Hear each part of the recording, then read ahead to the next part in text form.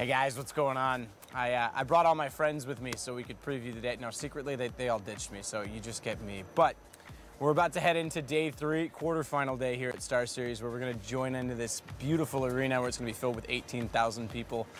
We had some awesome matches so far. Cyberzen even took a map off G2. That was impressive stuff, but ultimately they have uh, they've bowed out. They're gone, and Titan as well. Unfortunately, they uh, kind of had the group of death. The non-reseeding of EnVyUs joining in kind of made it hard for them.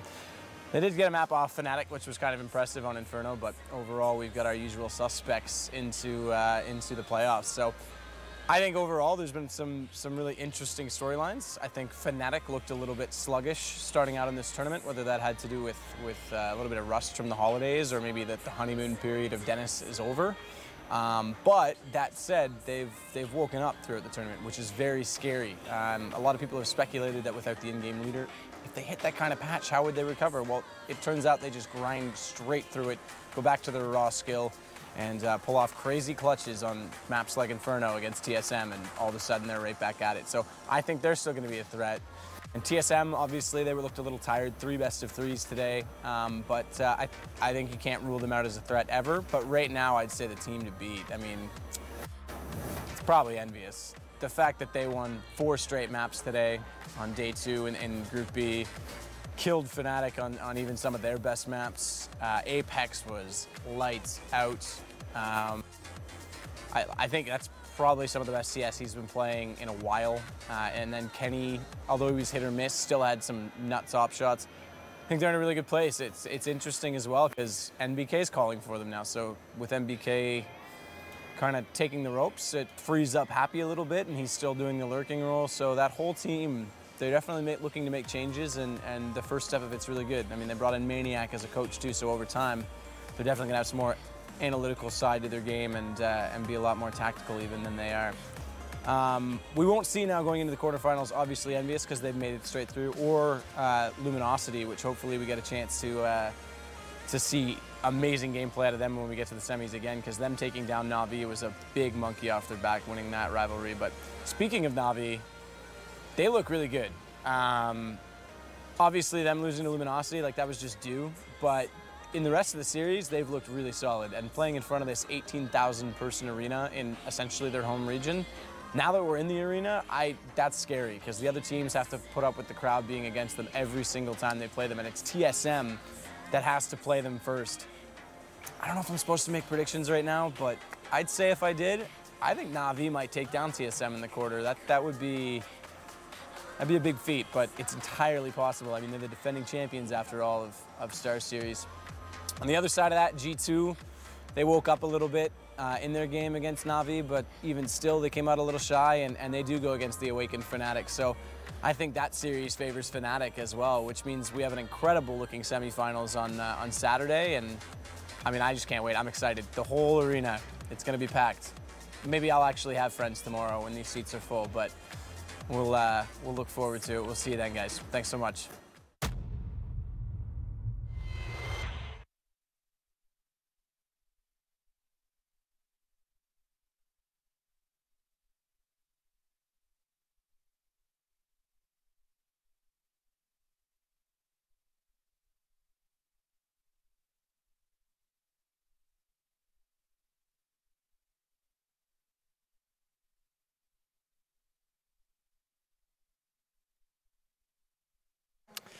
Well, guys, welcome to it. It is day three, and we are in the arena. It looks beautiful out there. It's absolutely packed, and the crowd is as loud as you could imagine. We do get into the quarterfinals. And of course, joining me on the desk to talk about our first matchup, we do have Duncan Thorin Shields, Janko, and Henry Greer. Sorry, I can't say your last name, otherwise I would okay. try. But how are you guys doing today? Very well. We finally made it. It's coming in. The big games. We're in the stadium. It's looking absolutely electric out there. And uh, let's see if we can actually get some big performances from these teams. I've got a big, good feeling about today.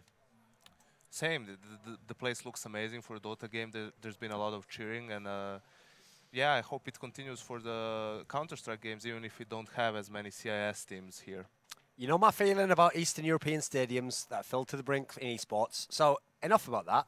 I'm looking forward to seeing today whether Fnatic is actually going to be a team that can win the tournament. Because obviously, if they get stopped here by G2, that whole streak of we won every tournament, that's over.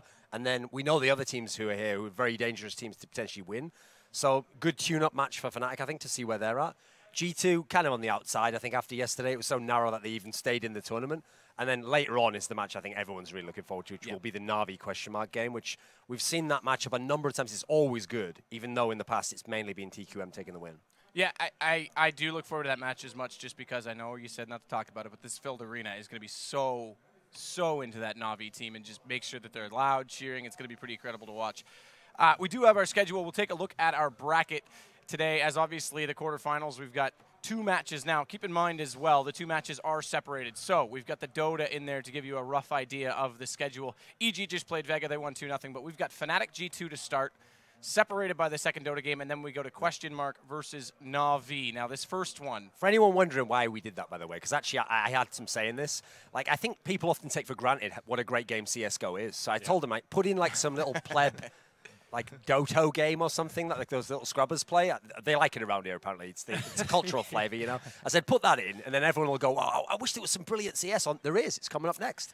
Then we keep you waiting again. We tease you again with the Doto, and then we come back into the CS:GO. So everyone realizes what the true master race is. Keep it level. Keep again. Everyone. Master race is another one of my favourite topics there, Henry. So over to you, Sadikis. well, we've started strong. we have, we have started. this is great. We've got Let's our tempo set. The winner of this first game, G2 Fnatic, will move on to play Luminosity, the Navi game. Yeah, yeah. I'm looking we'll forward to seeing Fnatic Luminosity. That'll be a really great series. Yeah, me too, actually. Yeah, I agree. I don't uh, disagree at all. I don't know how the rest of you guys feel about it. Uh, let's let's roughly talk about it. We've already seen the maps. Obviously, we're going to jump away in a second, and we'll come back and get into more detail. But initial thoughts on the yeah. two quarterfinals today. Obviously, you've made your slight prediction known. Yeah, well, I mean, since we actually know the maps here, this is kind of, I mean, this is an absolute suicide mission for G2, I have to say.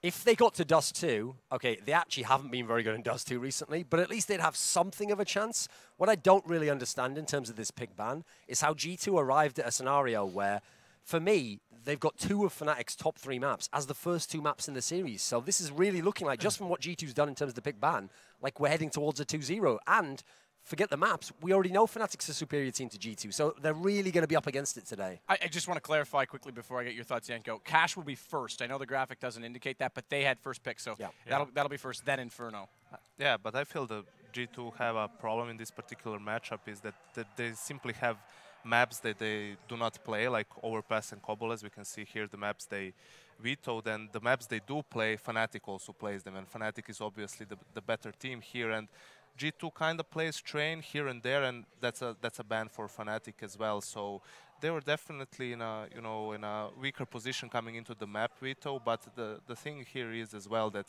similar to the Navi Luminosity matchup is this one. Just that the both teams have a similar playstyle, more more of a loose playstyle, puggy playstyle.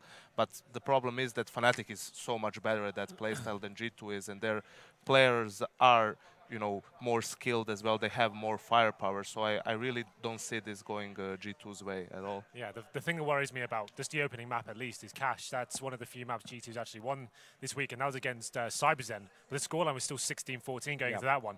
It hasn't been so much like a case of oh we can say oh G2 are normally strong on these maps etc. They've actually just had a really poor showing throughout this tournament. The players haven't turned up. The big names we normally expect to be like lighting up the scoreboard. Rain especially, he's been one of the lowest performers for the team. Um, that's something you don't normally say too often. You're one of the the big names actually putting out the big performances. So just to kick things off on Cache, I'm really worried for G2. I think this may be the end of their run here, but uh, who knows? Maybe they, have had a couple of days to warm up now. This is the one they really need to step up. We need to see players like Maikelele and Fox especially. He's the AWP player now. He's like actually been stepping up in previous tournaments, especially at the major. His AWP play was actually on par with some of the better AWPers in the world. So if he can step up and Rain can find some form, maybe we'll have a decent game, but I don't see this being anything but a 2-0 right now. Yeah, and, and, you touched on it as well, just quickly, Janko, and you can follow it up, Thorin. They're both pug styles. They're not known for in-game leadership right now without Pronax. So you're, you're only as good as your five individual skilled players. Flush has been struggling for Fnatic, but there's been more struggles right now for yeah, G2. But it's not a problem, I mean, for Fnatic if Flusha is struggling, but he's doing a good job in game leading. You know, if his team is winning, that it's it's not such such a huge problem. And uh, Fnatic have been on the rise of in form from yesterday, from the first game up to the last game. But uh, on the side of G2, Rain was one of the most, uh, you know, in my eyes, he was one of those stable players, a player you can rely on, always to get a kill or two defending a bomb site. He would have games that he would, he would play extremely well, but you could always rely on him. And now when he took up the in-game leading role, you know, he, he has been playing worse. I mean, obviously, and he also had just a, he was on a vacation before this tournament. Only has a couple of hours in CS:GO recently, so it's definitely Well, a, a big problem. This is what the G2. interesting thing. I think we touched on this in the first day. That uh, G2 are actually one of the teams that heralded the in-game leader being the coach, and now they don't even have a coach here at the event, and they've put it on the, the, the pressure onto one of their biggest fraggers and most explosive players. Now he's the one. I think in an interview recently, he even said, "I'm just doing it because no one else is actually capable right now." So obviously, when they had Dennis, I think they had that tactical insight to kind of help them out. But now it just seems like they're actually. Uh, d- disabling themselves a little bit by putting that pressure onto towards Rain. I, uh, I really don't like this move either because, as, as you kind of referenced there, Janko, Rain was the stable player. You look at the rest of them, one of the things about being like aimers and pug players is usually you're a bit up and down. All right, well, we're gonna we'll come back to this. We're gonna throw to the stage for the opening ceremony, guys.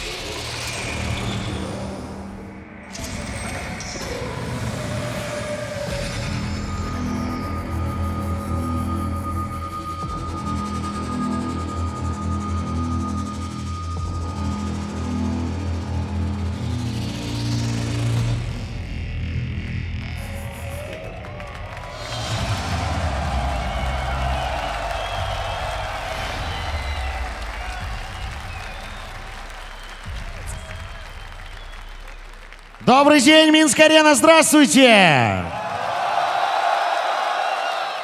В очередной раз мы приветствуем всех тех, кто пришел на этот невероятный стадион. И говорим спасибо каждому зрителю, который делает киберспорт лучше и больше. Спасибо каждому из вас, кто пришел сюда и кто смотрит нас с помощью платформы Twitch. Здравствуйте еще раз! Сегодня здесь, на этой сцене, сыграют, не побоюсь этого слова, лучшие команды мира. Давайте встретим первые две из них. Итак, справа от вас легендарная команда Fnatic. И несмотря на то, что им не удалось выйти из группы с первого места, это еще ни о чем не говорит. Слева от вас команда Gamers 2.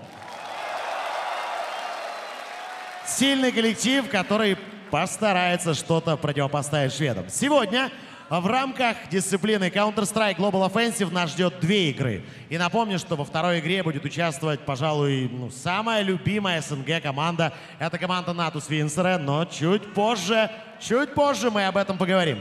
Что же мы будем делать сейчас? Кто готов болеть? Кто готов реагировать на каждый хедшот? Ну что ж, давайте сделаем все возможное, что зависит от нас, чтобы команды чувствовали, что здесь есть те самые люди, которых можно назвать болельщиками. Потому что никакой спорт невозможен без болельщиков. Поэтому спасибо вам еще раз. Передаем слово аналитике. Мы в Минск-арене. Guys. I think the scale of that stage is absolutely insane. Unfortunately, we had no idea what was being said. And No, no, I, actually, be. I, that, I, I'm, I'm used to this, right? Normally in Counter Strike, there's always someone just going on in Russian, and you're just going, "Ah, when's this going to end? Can we get on with the Counter Strike, please? Ma- well, that's matchmaking right there at its Hey, finest. that, that was a joke, actually. But Something wrong with. Uh, These here point- like subtitles for people who not only can't hear but don't understand basic concepts, you know? So- something wrong with that flag on Fnatic's side as well. Yeah, well, I didn't- was that left over Malaysian? from the Dota team Yeah, because they're assume so. Malaysian, but yeah. Yeah. I mean, Can't have co- everything. co- coming back to the Or anything. analysis part. Let's the- do that. Being the professional Let's here, you know, right boys. now. So what you mentioned about leadership as well, I think that people underestimate not only in-game leadership but also having true leadership within the team. You know, when you when you that's what's the mo- what's the most important when things start going south. You know, when it, when it's rough, you need to have someone who has in which in who his teammates have confidence. You know, who, someone who's gonna make a call and gonna say, okay, guys, things aren't going well. Let's now do this and this and this, and people are gonna believe that that's gonna work, and that's how you can start and making a comeback and everything. I feel that that's the problem with the maybe even with the Fnatic lineup, definitely with the G2 lineup, and also maybe if you wanna you know broaden it also the the new Cloud9 team. Even you can have a lot of talent, that's not a problem, but you need to have someone who's gonna you know take over the reign and, and who's gonna be the leader in that team. If Take you over remember when this G2 team, when they were called Kinguin, was first formed, Yep. they so they, they put all the stress on the idea they were friends. That's what it was all about. The only reason they did that initially is because they were losing. So you had to have it as something. There's got to be something good about the team. Now that they're winning, you saw when Scream left the team, he said like the communication wasn't very good, went like that. I look at this team, I don't think this is a real team in terms of like leadership, and we really like believe this is a long-term project. For me, it really is like a, a, hired gang of mercenaries. They, they've been hired for the top dollar. That's the reason why aizy joined because he was in a bad circumstance before. He can get more money, get potentially have a, a better players around him to win. I don't think this is like a team that in two years from now will be like, oh, remember the great synergy they had and how they played in that way. So as a result, when it comes to what you're saying here, when you're down and out and when things aren't going well, and when you only have three maps you can play and you're in a tournament where someone can ban two, it's not going to be a good state of affairs for you, and you're not going to be the team that's like plucky and fights back into it. So I, I see this as like uh, this is going to be a very one-sided matchup. I think. Do you doubt the longevity of this team potentially? With all that said, I think it's almost certain because I mean, you look at the team. Some of these players really are just waiting until the chance comes to join the right team. If if aizy got that offer from TQM, he'd be out the door Oh, Yeah, immediately. obviously Dennis did leave, but obviously Yeah. the, the offer coming in from Fnatic, I think that's an anomaly in some circumstances. I, I think the team does have longevity. It's obvious that they can work to some sort of level in, at the uh, of poker. I think that was quite obvious what the team is capable of. Obviously, the lineup's changed a little bit since then. We've had aizy coming in for Dennis. But when Jacob first joined it, they actually seemed like they had hit that honeymoon period and actually got to some sort of level that was actually very impressive. And they're taking down some big scalps there. But ever since aizy joined, it hasn't had that same sort of effect, hasn't hit the, the same sort of dizzy heights yet. Hopefully, like 2016 is going to be their year, but they need to start putting in a lot more work. It- Every single time, it's always like, oh, I haven't played enough, been on holidays and stuff. If you want to be taken seriously and make this much money, I think you need to be uh, Well, committing to these sort of That's a lame excuse, isn't I it? As well? Especially when you know the salary that these sorts of guys are making. Yeah. The idea that like, oh, I had three weeks off. Well, okay, mate. uh, What job in the world do you just take three weeks off, then two months later you take them If you want to be the best and get paid as much money, you need It's- to be it's not a good excuse. let's talk about the aizy aspect as well, because by now, in theory, with the amount of time he's had, he should be well adapted into the team. This tournament he's had good results, but he's kind of the only one that's punching at that level. Yeah, literally. I think uh, just looking statistically, like we said, Rain's at the bottom of the pile. He's actually got Fox above him as well. Rain is someone for me that really should be up there. Like Maikelele, sometimes a little bit inconsistent, but uh, Rain, like he's like. He's, he's so reliable, like you said before. He can be left towards bomb sites by himself, always reliable for one or two frags. Just hasn't been putting out those numbers. And when you have someone like that, who's normally anchoring certain positions, he's dying without any kills. That's going to be a reason why you lose these key games. Mm-hmm. I think Maikelele particularly has been very underwhelming for me. Rain, I can understand a bit because he's having to do this in-game leader aspect. Mm. I haven't seen anything from Maikelele in a while now. I mean, okay, Jacob had like a series, he was all right. Obviously, aizy was very good in the first series. But Maikelele, if you remember, is supposed to be the guy where it was at Cluj-Napoca. He's the only reason they got past mousesports. He had that crazy master, yeah. first game where he went 30 plus. He was on Mirage. He was absolutely carrying. We haven't seen anything like that from him, this guy, in a while. And obviously, he's the face of the team, you know. He's the guy, he's like the talismanic guy that you want to see doing well. That seemed to start when he switched with Fox and let Fox go back to the main op. Originally, Fox was getting the hate. Is that some sort of problem within the team of not utilizing that fifth player correctly? Well, it it might be. I think that Fox is more comfortable with the op, and I think that he's doing a better job. Like the, the thing is, with an opper, my my opinion is like Maikelele is one of those uh, players that he can go crazy with the op in a certain round. You know, get that triple kill, Yeah. quad kill, but you can also see him maybe miss some easy shots. You know, and for me, the the, the point of the opper is to utilize the strength of the gun, right? I mean, so uh, you want your opper to to hit the shots that he's supposed to hit. You know, you want that more than you want him to maybe miss miss those shots here and there, but then go crazy. Yeah. You know, in, in some rounds. And Michael is definitely that flashy AWP play style, which Yeah. is can be unreliable at times. I think Fox throughout 1.6 and the source as well, he was always known as an AWP player. That's where he feels more comfortable. He's kind of shunned into that support player role. But I agree with Janko. I think him coming in as the more stable AWP player, someone who's like you just know his bread and butter is just hitting standard shots, not doing anything too crazy. And Maikelele, I think, is a very strong rifle as well. He proved himself at Cluj-Napoca, but uh, this tournament been very quiet indeed. And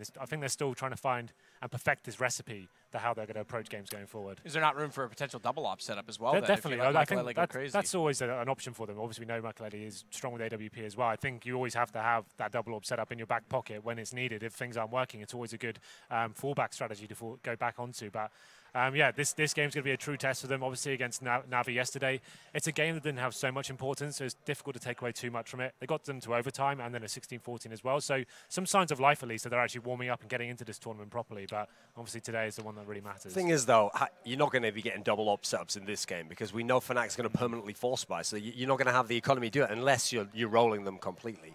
The big issue I see here is it feels like because on stream we saw the EnVyUs game and they were dominant over Fnatic, it feels like you want to go, oh, but Fnatic isn't doing that well. Fnatic still was dynamite when they played against TQM. They Yeah. weren't terrible against the EnVyUs guys. They, had, they were in some of those maps at times. So for me, there's a, there's a tier between these two teams at the moment. As much as you want to believe the guys from G2 can get to the level they were at Cluj-Napoca, they, they, they haven't shown that for me that they're ready to step up to that like top four team I, status. I don't think at this event, especially. I think like in a couple of months' time, when they've got fully out of the holiday period, I guess, and actually starting to put the hours in, we can see them bounce back. But the form I've seen right now for some of the key players, I just I don't see it happening. And this probably is the end of the run. But let's who knows? let's switch pages uh, well a little bit into into more of that Fnatic Sure. I guess tournament we've seen. Obviously, some of the statistics we're seeing on screen include the the online portions, so they're not 100% accurate. Olof as well has been a little bit slow, and KRIMZ is someone that I haven't seen the reliability from. He's normally the stable player of Fnatic. I mean, he had a good series yesterday. I think that was the one against who would it have been? Titan, Would have I been the lower bracket one. Yeah, he Yeah. was pretty good in that That's one. That's right. Yeah. Um, it's true. I mean, him and Olof, Olof particularly, I thought played very poorly in the series against EnVyUs. It's very rare you'll ever see him play two whole maps like that. So, yeah, I mean, you have to wonder at the moment whether Fnatic guys are out. But the problem is when it's a really high-level matchup like that, like EnVyUs, TSM, uh, EnVyUs, Fnatic, these, these teams that have played each other many times, and usually they're deciding titles, I always think of those ones, they're like game within a game, because it's then it's all like, what have we been practicing against each other? What did we do last time? It's not as much just like the teams, where are we at right now, and how good are we? It, there's always some extra little detail that they're throwing in for each other. So when you come down to a team like this, this is supposed to be Fnatic against the rest of the field. So now I expect a standard Fnatic performance. They've got the maps they want. They'll play normally. I expect Olofmeister will be good. KRIMZ will be solid. I think it's just going to be a Fnatic 2-0. But the thing is, you look at the Fnatic team and you say Olof hasn't been performing yesterday, KRIMZ so-so, Flusha as well. But that team has so much, you know, so much star power in their team. You had JW playing well yesterday throughout the day, more or less. Dennis as well. So you know, you only need a couple of those players to step up in order for them to be able to win a, a series even. And if all of them play well, as they have been more or less in the past tournaments, then you can get those titles, win those championships as well. Even though they didn't have as much time to practice, their map, map pool isn't as, as deep as they would like to probably. And actually, one more thing I wanted to say as well. As Henry pointed out before, part of the reason why we've ended up with these maps, firstly because it's a ban-ban system, but also because we know that the guys from G2 aren't going to play Cobblestone. They aren't going to mm-hmm. play other players. You go and look at it, and they've barely played them at all. Like never with these lineups. So that's another thing that I'm sorry that excuse doesn't fly now. You can't have a pro team for months and months and just have like three maps that you can play. That, that's ridiculous. Yeah, it's a huge problem. Uh, The other side of that, Fnatic's banned out Mirage in this. That some in the past has been one of their go-tos. Yeah. With this new lineup, and this weekend has highlighted it more than any other. As we look back at the veto, they've been struggling on some of their comfortable maps. yeah. Is this sort of a shift in They've- game style with the new lineup? I'm not sure. Like they've played Mirage twice this tournament. Actually, they played against TQM, lost that game. It was uh, 16-8. They also played against EnVyUs, now 16-8 as well. So potentially, I think like in the past, it's been a, a very strong map for them going forward. But this event, maybe they're struggling a little bit. The approach with uh, Flusha calling now, maybe that's having some impact, and he's not really got his head into that round. He hasn't got the same experience Pronax had on that map potentially. But uh, I, I, I think that's fair enough. Like if they want, if it's a map he doesn't feel particularly comfortable on, and it could be a risk for them, why just just play the solid maps? with them? We know they can play Cache, like especially Cache. That used to be like Olof's playground. This is the map he used to get godlike status on. He used to get like 20 to zero on that map. So if he turns up, that could be a very interesting prospect for them indeed. Yeah, Mirage was a very strong map for Fnatic coming into this tournament. It was actually statistically their best map on LAN with the new lineup. But it doesn't. Uh, when you consider the two losses, admittedly, the THQM one's not that bad. They are very good on that map. It's EnVyUs was the shock. We didn't know EnVyUs was that good on it. Then again, EnVyUs the whole day were a shock. They, I think they were Yeah. surprised themselves how well they were. So for me, it's just this is actually going back a little bit to the old Fnatic pan, ban system, which is since they always had a deep map pool, they were the team that never went with like this is our map. We always play this. They always went right. Even if that's a good map, if it's the opponent, if it's good for the opponent, ban it out. Play something that we're good on, but the opponent isn't good. They always went for that route, and that's why they could always. To me, that's why they had so many wins and so many championships because they always were getting slight edges in those m pit ban vetoes. Whereas some teams like EnVyUs, in fact, both the EnVyUs lineups, sometimes they would be stubborn and they go, "Oh, Cloud9, your two best maps are Cache and Dust 2. Oh, they're ours as well. Let's just play." We've got a video about Fnatic. We'll take a peek at that and then continue the discussion in a moment. It's the first event of the year.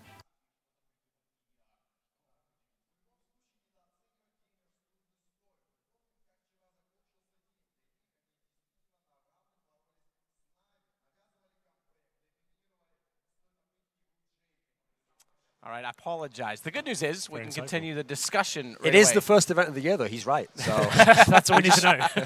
and over to KRIMZ for the next piece of update. So, Um, I want to make a point just to further that as well on Mirage. CT side's one of the issues. Now, I'm going to kind of preface this a little bit. You would think with a new in-game leader, T side would be harder. That's where the execution, the timings come in, and that with experienced, skilled players know how to play your position CT. Why is it that CT's been so hard for them, Janko? Well, okay. Or do you, want, wanna do you go? want to go I just have a little detail I'll throw in there. So, in an interview I did with JW recently, he actually told me that when they're on T sides, their team never tried to be super tactical and have like really Yeah. set things that would. Always, he said all they tried to do was just be like comfortable because they thought like natural chemistry is what would get is what would allow them to work, would allow Olof Must to go do what they wanted to do. And so, supposedly, towards the end of that era, when they were like they weren't really feeling Pronax's style as much, the reason they wanted Flush as the in-game leader is because people like Olof thought, right, well, Flush is the in-game leader, I kind of get to do what I want on T side. So, in a weird way, I understand intuitively what you're saying is correct there, but I think for Fnatic particularly, they want to play a little bit more free for all on T side anyway. So that's why at the moment, with our good players, it can work. But maybe CT setups are what they don't have. And f- f- famously, Pronax was very good at making the read on CT side of whether wh- which man to like swap over of the, of the guy who's the hybrid, the guy who's the go between the two sites. He'd always be good at drawing that guy over, famously on Inferno. So I think maybe that's where they lost something when they lost Pronax. And it's not just that, it's also that when you play CT against teams like TSM, Navi, those teams are very structured, you know. They they have a set plan that they want to execute and they're really thorough and they know what what positions are covered, on what other spots they should focus on and you need to be on the CT side, you need to be mobile. You need to react to what your opponent is doing. If you, for example, one of the most common examples is Mirage. A lot of teams go for mid control, and if you're a CT and you let them take that mid control, and you don't react anywhere on the map, you don't try to clear maybe A apps, B apps, slope, whatever. So that that can be problematic for you. Then you can get you know pinched into the side from three sides and, and lose around. And I feel that that maybe has been the problem. You need to have someone who's gonna make that call in the in the team. I, I feel like, uh, especially on the CT side, the, the biggest note to take away from the EnVyUs game was the force buys. When the players aren't performing at the 100% level that we're used to, and they haven't got the skill to actually take these kills down, the force buys with the, the mag sevens, the scouts, even the five sevens and stuff like that, it's just it gets to the point where they don't even have the money to actually make these rounds effective for them. The CT economy on maps like Mirage, you need the AWPs, potentially two of them sometimes. It can be a very difficult map can run away from you. You can find yourself in the rut. When Fnatic are on like 100% form, those force buys work out for them like a lot of the times, and it's actually like, very impressive to watch. But when they're in the, the slump they were on the first day, especially they're just turning up, warming up to the event, I feel like that was a, a key reason as to why they were losing a lot of the rounds. I've never understood that logic as well. Even top level pro teams will get into this thinking mm. where they're not winning on their full buy rounds. Yeah. So then they're like, right, let's force it up. It's like if you can't win with the full weapons and all your normal setups, you're not probably going to win these rounds when you have lesser guns against the full weapons. Now, here's the thing: if you're in incredible form and you just happen to lose a round, it wasn't that you played badly. Now you're an incredible team. You've got EnVyUs, you've got Fnatic. Okay, give your great aimers who are on fire. Give them a whatever weapon you can get. They'll get you back in the game at that point. I always say this: if you if you're playing badly and you force buy, you just accelerate how fast you lose the game. Yeah, mm-hmm. but I think makes it a this is, I think this is the problem that a lot of players, teams, in-game leaders sometimes tunnel vision into that economy system. You know, people force buy most of the times because they want to reset the opponent's economy. Because that means if you manage to put pressure on their economy, then you will get a couple of free runs for yourself. Your economy will be more strong. It will allow you for more room for for mistakes as well. If you lose a round, you can buy up again fully with, with all of your resources. But you, I agree that sometimes you should just say, okay, guys, we have these advantages. Our team, maybe you know, Just- most common example One, is one, oh, sorry, finish your point. is like with oppers, you know, like you have guardian, but you keep forcing and you don't let him have an op. So sometimes you just need to say, okay, guys, the, the beginning of this half didn't go our way.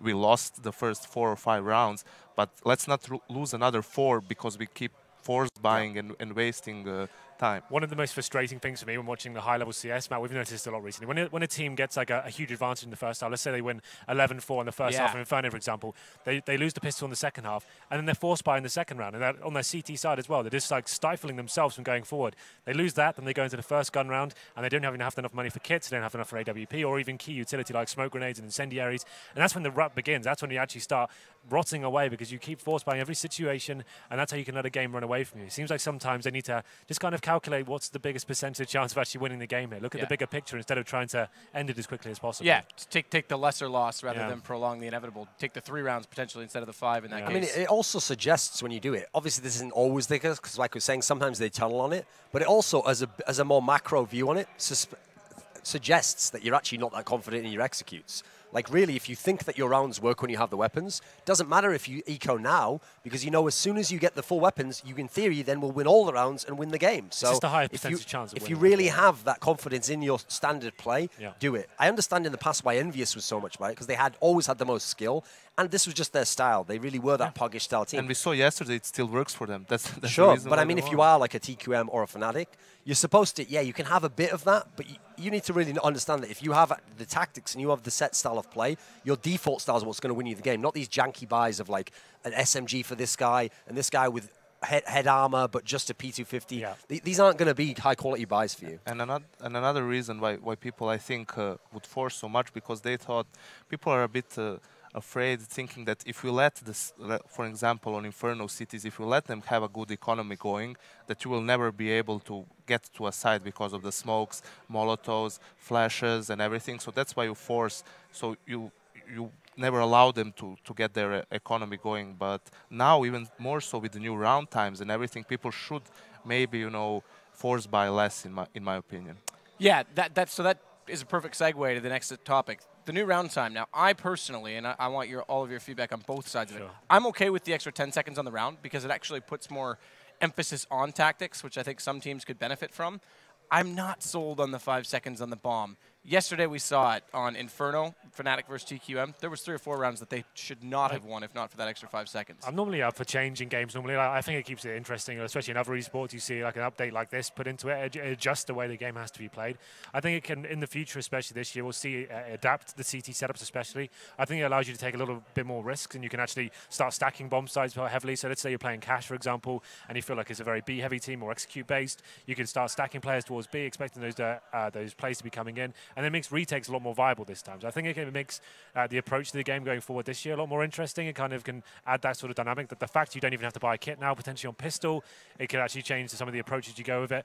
I think we saw Luminosity, especially. They're actually on their their, their CT pistol round on train. They're actually changing their ideas a little bit. They're actually focusing more on HE grenades and playing one player towards the inside bomb site. Everyone else is stacked towards the outside, and you rotate back in with those HE grenades, and you just do that airstrike onto the bomb site when they're trying to plant the bomb. It's kind of a, a different mentality. You know, you have that extra five seconds. You can uh, afford to have people rotate over and then retake with utility instead of having to expend everything on uh, like kits and stuff.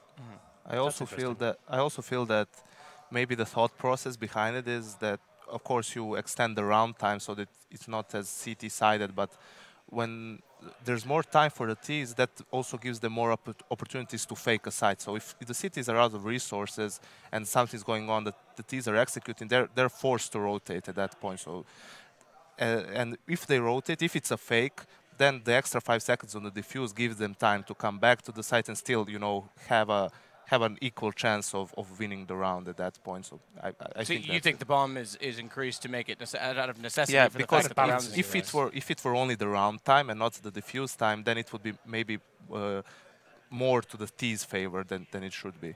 The problem is, I, I just don't like the premise because we're having to accept this premise that the smoke is never going to be fixed. Therefore, we're going to make the time different. We're going to make the bomb different. The problem with this is anyone who watched Counter Strike 1.6. So the map we're always referencing is Inferno because in CS:GO that's where the smokes come one after the other into the banana. You can never push up there.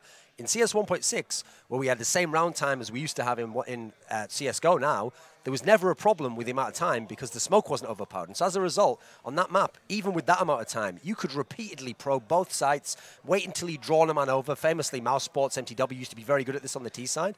And the whole game was to just make one of the sites be tricked into rotating the guy over, and then you would hit the other side. And that's all you'd do with the first minute of the round. That can't exist in CSGO because there's a smoke in your face at the beginning. So you're waiting, and basically you only have 30 seconds to do that in at the end. So it's true. In CSGO, you can't rotate between the two sides because you'd be really cutting it thin. And you sometimes do see those crazy calls, but they're, they're really like out of left field. And, and, it relies more on getting the first pick more than just simply but baiting we, someone out. But we can solve this whole problem by just making the smoke last slightly is, less amount of time. Is it so much of a problem now, though? T sides of Inferno, in the last couple of months at least, they've been actually been proving a lot of top teams can win those halves quite convincingly. It doesn't feel like Inferno is like the broken map it once was a couple of years ago.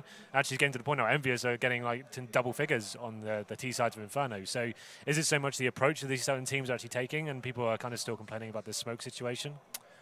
I, I think it comes down more to the approach of the teams. I, I never so. felt I never felt that smokes were overpowered in a way. I think that it was just a problem of maybe the uh, people playing T side weren't creative enough, you know, to either bait out those smokes or to. This, this is why Nuke was so good originally. I think, yeah. like, if people say it's a really bad map, but I actually liked that approach. Yeah. It was so CT sided that you could actually be a lot more creative with your strategy. You had to work harder for it. Let me let me further your point though. You've got longer smokes, and now you also have Molotovs in comparison to 1.6. Yeah. Uh, yeah, exactly. So you have these two aspects where, listen, I like both of them as core concepts. Like the Molotov did eventually prove to be a good addition. It had an, an aspect to it. But the idea is, as I said, it's, it's a problem I always bring up whenever Valve does something in the game. They always do it, and it seems like if they think about it, they only did it in isolation. So if they talk about smoke, I bet they'd never even bring up a Molotov. They'd go, right, well, smoke, do this, this. No, the problem is, what if I have a smoke, I throw that, then I wait, then I throw a Molotov. Now I wait, now I throw a smoke. And now I have 10 of them on these things. Well, I wouldn't have 10, obviously.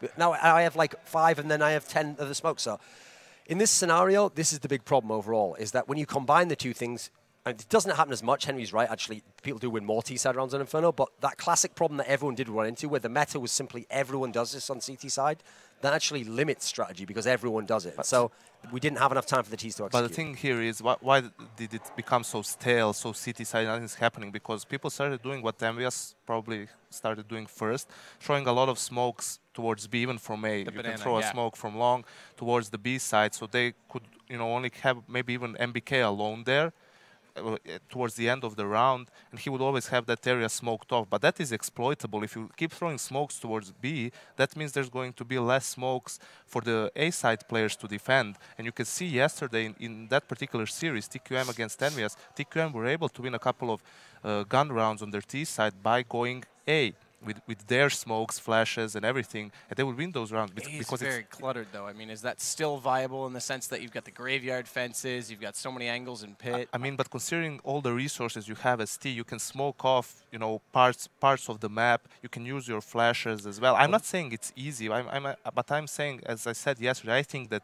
if you're a T and you know the setup of the CTs, I think that's exploitable because that, you know, uh, wrap around A site is pretty powerful if you do it correctly. The, the, the, problem is when they have all of their resources, when they have smokes and molotovs and flashes, that's when it's really hard to, to you know to get into A site. Plus, you have to remember as well that era we're talking about when LDLC and Fnatic were doing the CT side style. Yeah. That was actually when almost no one used molotovs. So, for example, if you want to hit the A site, amazingly, I still don't know how it's possible to this day. People never used to actually Molotov into the copy, even though LDLC would have someone there like 90% of the time. Instead, they'd try and just manually check it. So you'd think actually, because what's funny is when people did use Molotov, it was only to go into B to smoke off those OP spots. yeah. So yeah, yeah. There, it is true to some degree. Essentially, what, what we're saying here is the problem with the meta game is players themselves buy into the concept, oh, that's just how you have to play the game, and then they just only do that, and they don't themselves think outside the box. Mm-hmm. Uh, so consensus on the round timer is it's actually the smokes that's still the issue. But let, what about the bomb itself on retakes? Now, teams can save utilities, makes the retake harder. You know, it almost like puts emphasis the T's have to, whereas the CTs, now you've got two cracks at it. We saw it yesterday. Device kills someone defusing, they still had the time. It's the same point as Duncan said, like with the smokes. Why just not make the defuse kit $200 instead of 400 I mean, I don't know why, why it was changed initially, but you, you don't have to increase the round time, the, the bomb time, just make uh, defuse kits more accessible to the CTs. I mean, you know, you, in my opinion, I understand what they're trying to do. I, I just think there's a much simpler way to, to do it.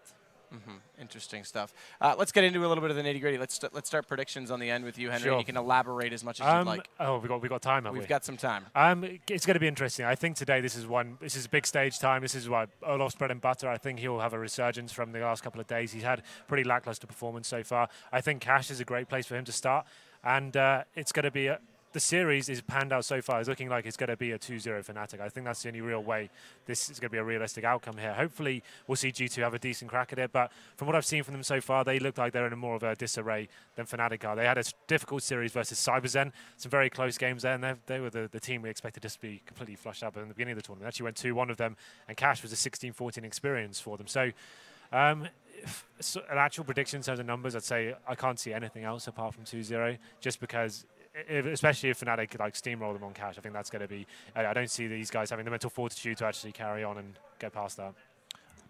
I have to agree with with Henry here, considering that both teams have this, a similar play style, and Fnatic is just better at it. These are uh, maps that Fnatic is good on as well. They have been on a rise of form from the beginning of this tournament. So yeah, 2-0 for Fnatic. Yeah, I'm going to go 2-0 Fnatic. The thing is, Inferno is a phenomenal map for Fnatic. It's always been like what built the team, you know, what they made the dynasty. And, and part of the reason why is because we know Crimson olofmeister, that combo on that map is especially, especially good. Now, you might look at yesterday and go, oh, well, EnVyUs kind of toyed with them. EnVyUs when Apex is going crazy on T-side is a very different animal to even EnVyUs on any other day. So I don't put too much stock in that. They're a fantastic Inferno team. When you go over to Cache, G2's pick, they do have a chance here. We This is- start, to be fair, we start on Cache. Oh, we're clear. starting Cache. Yeah. Okay, so we'll, when we're on Cache, rather, this is one that GG has a chance on. Certainly, this was the one they even were able to beat TSM on when they were IEM San Jose. They're a decent team on this map. The problem is, I think actually this is like a sleeper for Fnatic. The thing at the moment with Cache is, no one wants to play EnVyUs on Cache. No one wants to play Fnatic on Cache because it's become the map that they're just so phenomenally good at. It's a bit like the old cobblestone. People only ever play the team on it if they're also good on it. So as a result, they don't get to play it that much. Therefore, people haven't seen that they're this amazing on it. So I think when you see a good Cache team like G2 go up against Fnatic and Fnatic really do beat them handedly, you'll see that this is this is another map that they have the whole time. It's just other teams won't let them play it. What, one key thing I think is going to be a big part of this. Obviously, we talked about the coaches before. Fnatic have got vuggo behind them, kind of helping them out. You're on the big stage now. You've got 18,000 people looking on you. That's just added pressure going forward. Rain's not been able to. I want to clarify. It's an 18,000 capacity arena. We're using an 8,000 seat configuration, just so people Oh, know at home. Okay, well that's kind of that's kind of ruined it now. I'm sorry. I was, I was all excited for this now. Kind of anyway, uh, yeah. So obviously, I'm just saying that the point I'm trying to make is obviously that's that added pressure in the booth. It's been raised from being in a little studio, kind of like just one camera on you, to all these people looking at you. Now there's hundreds of thousands of people watching at home. It looks like G2 couldn't handle the pressure before. Now they've got no, Rain's got no one to kind of look back to and kind of ask what's going on. Fnatic have that kind of uh, extra. Like buffer, I guess, to kind of help them out in these big pressure situations. All right, guys. Well, thank you very much for your thoughts. I think we covered a lot of ground in this segment. We're all favoring toward Fnatic, but the only thing that will dictate exactly what happens is, of course, going to the game. And to do that, we do send you to the FACEIT duo. It's James and DDK. Hello, everyone. Do we have sound? I don't hear I- myself. I- okay, I can I hear think- myself think- now. I think we have Marvelous. sound. We have sound, Dan. Dan. That's good. That's good. We have sound. We're doing better than the, the Russian guys then, who I think had had sound for a while it's there. A pretty, it's a, this is a pretty, pretty cool arena. I mean, StarLadder have really leveled up this time. I was It's a- extremely pleasantly it's a massive surprised. difference, isn't it? Yeah, it's insane the level of quality we are seeing here. The stage looks awesome. The crowd is awesome. The place is completely packed out. We've got people around us over there, in front of us as well, and you can see some people behind us. Uh, it's looking pretty good. They've got spider cam flying around as well. Yeah. So uh, yeah, looking great. So we're gonna have, I think we have Cache, Inferno, then Dust 2 as a decider. yeah, that's correct. Yeah. Maikelele always says that Cache is uh, G2's best map. We know they're pretty keen on Inferno, but really, I've been really interested in how Fnatic have been playing Inferno on the CT side. So uh, I'm quite curious as to how G2 will do that. I think you have to favour Fnatic in this series. Yeah, absolutely. And uh, the other thing to mention, of course, and on the desk, you know, they talked about it as well, is that with G2, they had they had the same same two maps. You're thinking Cache Inferno, brilliant. That's fantastic for G2. They're, they got a perfect veto. How on earth did this even happen? That they get such great maps for them. And then CyberZen, you know, as you know, relatively unknown teams, not really come to you know European events before to face these teams. They should have won that series on, on, on the second map, which was actually Cache in that case. And they kind of steamrolled them on, on Inferno. But the thing about this is, G2 they are big game players as well. When they get onto the stage, this is you know this is their their environment where they can really start to shine because you've got a lot of like Michael for example, he always plays a lot better when he's got the stage and he brings his team up and you've got all the star players of that lineup. They, they always seem to do better in that environment. So I'm, I'm, I'm looking for that. I'm looking for the I'm big getting plays. goosebumps, Dan. This place, my the stage is shaking, Dan. Looks like we are going So much bass. Yeah, so It's like I'm in a Skrillex gig. let's go. 10 seconds, countdown into the warm-up, of course. All right. Is this the knife? It's the knife round. The knife. Okay. See, I feel like I feel like the countdown into the pistol round would be much more hype. But there we go. We'll find out who's going to start on the CT side. There's a best of three. Sometimes you see the knife winners opt for the uh, T side instead. So time will tell on this occasion. Yeah, Fnatic actually are the team that started to do that initially. They were the, I think, yeah, yeah, they were, they were actually the first to do that. I think Nip, Nip would often pick T side of Inferno. in Yeah, best yeah, of three. right. NIP used to do it, I think, for a different reason. I mean, at least uh, Fifflaren used to talk about how NIP were a team that they wanted to start on the worst side just because they felt like they played worse at the start of the best of three. So they wanted the warm up in the uh, the side which they didn't expect anything from. And but I think Fnatic they they got the strats, man. They got the they got the drills and. Uh, with uh, some of the changes as well, I think it's going to you know help the, the T's out with longer bomb timer and so on. So I think T-Side got a slight buff in that last patch. Either way, the knife round will conclude. You can see a lovely shot there of the booth with Fnatic and vuggo standing behind his teammates. And uh, what an arena here, 8,000 people. Of course, the eight, it's an 18,000 uh, person capacity, but as you can see the screens um, over there, you can't really you don't have a great viewing experience from behind the screens. So Den- Dennis is trolling the uh, G2 guys. I don't know if you can see that on the camera, but uh, he must be chatting to them because he's like fist pumping and looking over to their booth. So Yeah. I think there's uh, some jolly camaraderie there. Man, does KRIMZ really need three containers of snus there on that desk? Does he really need three? Look, man, it's a stressful experience being He's on going in. He's, he's got that mad sponsorship game going on. Yeah, always, always with the snus.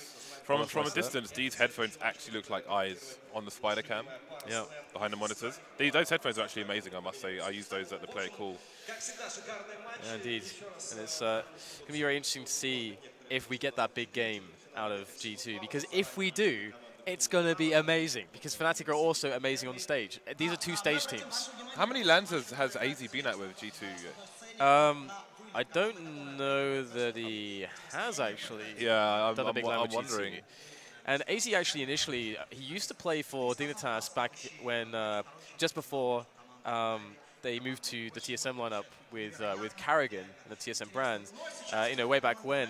Back then, aizy's issue was, I mean, they, they loved him as a player, but his issue was that he couldn't really handle the stage pressure because he was so young and he needed the experience.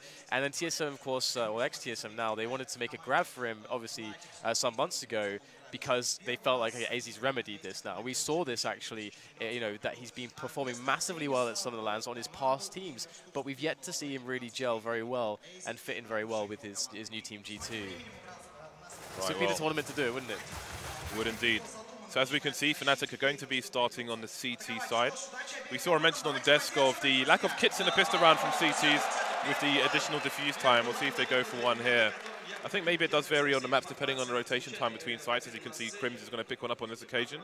And the HE to boot. rest of the team going to be on the Kevlars. Four Kevlars for G2 with Maikelele going to be the nade man for that team. So once again, we're seeing a somewhat standard piss run from the CT side in that they go, they're playing for retake A. From the position that KRIMZ is holding, you can't actually hear anyone uh, when, the, when the squeaky door is open. So I'm still waiting for one day everyone to just rush through squeaky and take the A site. Yeah, well, we do have the push coming in here from G2. Krim's picking off one there as Jacob goes in and quickly falls, and the bomb will be planted there by G2, so they'll start forcing the CTs to move, but it's kind of by design here. We're looking at an A retake setup from Fnatic. They're just going to try to get players in all the positions and then coordinate themselves into the bomb site. You can see Olof is waiting there for the flank from JW to come in to play. Uh, JW, very important in that squeaky position. There's no T's to cover it. There's two T's in the team main area, as we can see. Look how, how slow Fnatic are taking this. Waiting for that perfect moment. olofmeister getting the first kill. There's the second one. JW makes his presence known, and it is brutal. What beautiful play there from Fnatic. Lovely plan, lovely execution.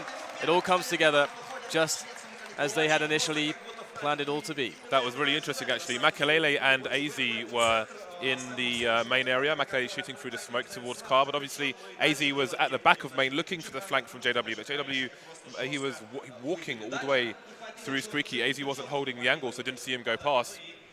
Then JW is able to pop out and shoot somebody on the site. Very nice retake there for Fnatic. Everything, everything is so uh, slow and deliberate with the Fnatic side that we've seen in this tournament, which is quite nice. G2 looking for a fast execution with a flashbang into the B bomb site. JW could make it rain with this gun. Going to reposition, drop HE, and going to do massive damage with that. Flusha's on the sides as well. Going to take down Maikelele. We've got a Molotov kill from Flusha. And I don't think the bomb's going to get planted here. Down in the middle of the site. Full rotation coming in from the CTs. One kill uh, from Fox onto Flusha. He kind of just bounces into his crosshair. But other than that, minimal damage done to Fnatic. Yeah, G2, they, they weren't expecting all too much from that situation. They're just playing for the third round AK bias. We can see it coming out right now. And generally speaking, what I really like to see teams do from this position is to abuse the fact that the AKs are typically going to be superior to what the CT side will still have because it's such an early buy.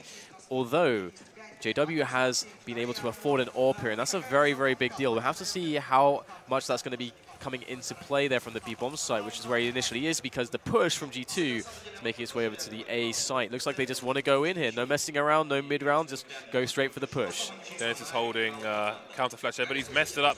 Maybe having a read on what, it, what to expect from G2, obviously have, being a recent player for them. That re-smoke's going to come in. The advantage of JW holding down the AWP in B is that they can boost uh, Flusha into the vent, so he can play mid and just leave JW solo with the support there should he require it. But Dennis seems to know what to expect here and is waiting for the push to come in with that flashbang.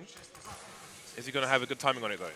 Yeah, there's the flash, and that was pretty effective, but the entry is found by Maikelele. Now Rain goes through the door. What can he find here? He needs to get another entry. KRIMZ holds it down there with the MP7. Great stuff coming in from Fnatic as olofmeister still rocking this offense, and it's just AC left. Quick two-man for him, but no health.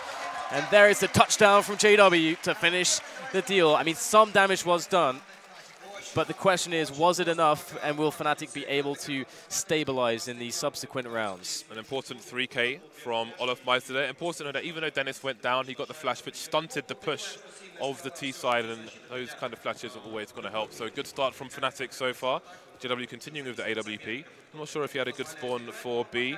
We will have a look as there are two players headed in his direction. He's setting up for the shot now, but uh, we've got one player already past the angle. It is G2 on the eco, so JW will want to be careful here. He does have Flusha for support, and that will allow him to be able to reposition. Flusha playing from the headshot position. And uh, we might see G2 slowly gravitate towards the B-bomb site. They have no grenades, though, no pop flashes to be had. So uh, they're going to need to be successful. It's going to be hard, I think, for them to take down Flusher in that angle, especially with JW in for support from CT.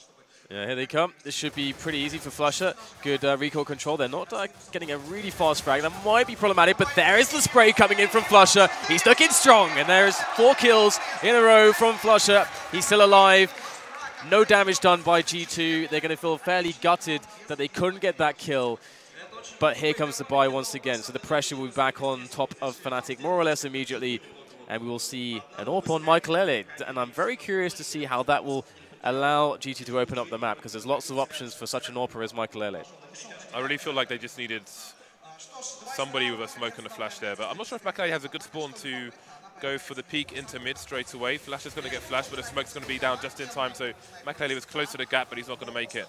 The vent's open, and Flusha will be playing close with olofmeister at the back of mid at the moment.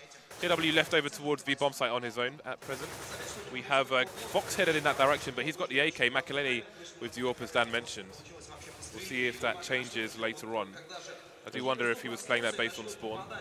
And so far, it's, it's a, default, and this is uh, generally what you would expect when the AWP gets picked up because you, want to try to get the picks going, and Michael so far has been able, unable to do so. And time is beginning to run a little bit low. We're well into the mid-round at this point, and G2 haven't taken any major map control. They position themselves into a main. We might see the opening engagement, and there you go. That that smoke grenade is going to be perfect for Dennis to get a better engagement. Michael They couldn't even see him, and that's the AWP gone now. G2 going to be a little bit desperate in this position because they're down a man.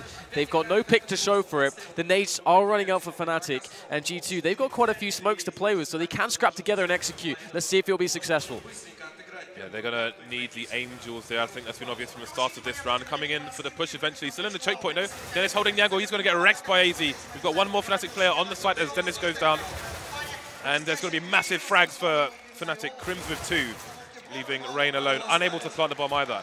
And it seems, you know, G2 are a team who don't really have a true in-game leader. They need an in-game leader. And you can see um, Maikelele jumping into A main, looking for a pick there. Despite having all the nades, they don't seem to be looking for the executes at the moment, and I think that's going to be a problem. It was a glaring problem against, uh, I think it was CyberZen previously, where they were just basically rushing sites and going for picks. That's not really going to work versus Fnatic, and uh, one, one thing that Peter in North America does as a player on the A-bomb side is he jumps on top of the barrels. You can see Maikelele jumping into the angle on the T side to try and uh, get a quick peek onto someone holding a usual angle. Peter would be on the CT side standing on top of the barrels to counter that uh, which is something we might see later. But again, G2, they, they're really going to struggle if they don't have executes on what is supposed to be their best map. Yeah, it's going to be, a, well, essentially just a bit of a quasi-buy from G2. Already on the max uh, round loss bonus uh, of $3,400. So just trying to see what damage they can get done. And so far, Fnatic have been winning rounds quite cleanly. So they do need to be making some frags in rounds like this to try to just work on that Fnatic economy, get it down so they can try to force ecos when they do start winning those buy rounds sooner rather than later. And we will have the movement coming in. It's great control coming in from Fnatic, the way that they're positioning around the tees. They know exactly what, what positions have been given up. They're repositioning themselves and forcing G2 through choke points, through, through to engagements that they just cannot win. So limited damage done, and we will see now Fnatic with six rounds, but G2, they picked up an AWP, and this time it's on the star AWPer of the team, Fox. Right, so let's see what where Fox is here. Yeah, Fox has a reasonable spawn as well, but he's not going to go for the mid pick straight away. Fnatic are getting the smoke out quickly. In fact, he's going to go for the uh, fast boost. Olofmeister by the sandbags. Fox is going to get a tag, I think. Indeed, he is. Nade going towards short as well. Fox losing to the Flame though, after being tagged himself. So advantage Fnatic. Yeah, it's going to be interesting to see if they can actually bust through here after losing one player. Fox down, as mentioned. In goes Maikelele. They know they need to scrap together some kind of a play. He's got himself a bit of an engagement there. His teammates lagging behind a little bit. It's unclear as to where they want to finish. I mean, there is the option for an A split you know, potentially, or the B split. Depends on how they can position themselves, whether it's into towards A main or towards B storage. And so far, we're seeing G2 work on that B storage finally. Worth noting, though, that Fnatic are doing something that they were commonly doing on Inferno as well, is that rotate they were rotating an extra person over towards the A site and leaving B a bit vulnerable. But with the control that Fnatic had towards, sorry, Kinguin had towards mid, they've had to put a second player back and abandon that mid area. So they're going to be lacking information, but JW with a nice pick there into the vents. That smoke's going to deny them yet more information, which may cause a bit of a rotation considering they have no information towards mid either. You can see Fnatic now streaming down towards the B site, making uh, a good read that G2 may be favouring it. Dennis with a lot of information here. It could come in from the flank in mid. We've got Olofmeister having an eye on A just in case there's someone in Squeaky, but the push should be coming in soon from G2. Yeah, absolutely. Got Flush on the side there. He's being burned alive, actually. He used to try and reposition, and that's exactly what G2 wanted. JW gets the shot as AD jumps up onto the site. He's under a lot of pressure right now. He's got no support. What a shot there from JW. Close range with the AWP, and the rest of his teammates come in, and JW will still survive. And that's going to be another round where Fnatic are basically playing incredibly efficiently. They're preventing G2 from getting the damage in with the with the frags. G2 need to be making more frags in these rounds. But before that round even got going, JW got well, two kills. Yeah, that was very nice play, the no-scope there from JW. G2 just looking for the picks again. They're looking for the picks, and Fnatic are not giving them the opportunities. They're not playing, they're not allowing G2 to play to their strengths, basically. G2 looking to move fast into A main with three people. Are they going to come out of the choke point, though? They're behind the smoke at present, and that should be enough. Jacobs on the lockers. You can see over the corner of the smoke towards where Dennis is uh, standing, but closer towards quad rather than the NVK position. We've got the pressure coming in from G2 once again in towards the A main area. And Fnatic just feeling it out. They don't have any information. That smoke is is a good thing and a bad thing for Fnatic. Of course, you know, it, it's good in that it prevents G2 from trying to make any open picks, but it's bad because they don't know what's going on behind there. It could be the entire team behind it, and in, that's actually the case. And we can have a very fast a set play that's not telegraphed from behind the smoke, and that might be what G2 are thinking about. We're not going to see a set play from G2. They, they need to run and gun. That's the problem. Is it going to work out for them? No, they've got enough numbers to trade, and I think that's what they're going to rely on here. Dennis at the back. Prim's running distraction, but Dennis is not going to get any frags either. There's still olofmeister on the side. Two frags for him. Going to get traded by Rain. Man advantage for G2 now. All three members on the site. Can JW and Flusha retake the site? Yeah, olofmeister made that possible now for the remainder, remainder of Fnatic, and they got so much cash, I should think, that they do want to go for this, get the damage in to G2. See a quick uh, flash out there to allow Rain to get a peek, and he's going to spot both players, so G2 know exactly what's going on in this position, and Fnatic probably not going to want to go for this unless they get a kill onto Rain. And there it is. Now they can actually go in and try to commit for this. Flash goes in for a Flusha to try to get something done here. Maikelele with a quick headshot, though, onto Flusha is going to stop the effort with the help of Jacob. And finally, finally, G2 get themselves on the board with a round, but that did cost them quite a lot in resources, so they've got to be careful in this follow-up. On the subject of resources, JW starting with 16k. Dennis has bought some North.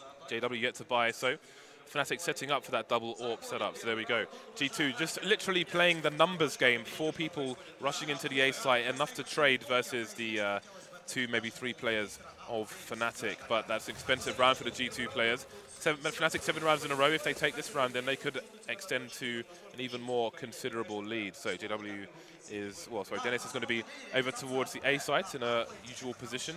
Just where he's standing now is where you can potentially see him if you're standing on the lockers in main, which nobody's doing at the moment for G2. But it seems if it's not broken, they're not going to fix it. Four people in A once again. I think there's one person just checking for a boost there. Fox going down in main, and aizy's going to answer back, and here comes a push from uh, G2. Yeah, it's looking like this could be quite strong, but there's KRIMZ. Can he get the double? No, he won't. He'll get shut down by Jacob in the end, and that's going to avail G2 into a bomb plant now as olofmeister makes his way into the flank. And G2, they don't have anybody watching the flank just yet. olofmeister could be incredibly powerful in this position as that smoke's still down. And finally, there is some attention there, but olofmeister's getting the damage in. A lot of pressure, a lot of directions for G2 to try to look towards, to try to hold this bomb site down. And Flash is coming in now. olofmeister, Flusha, doing insane damage. And that's three frags in a row going all the way towards Fnatic. G2 looked very, very desperate right there and very panicked indeed.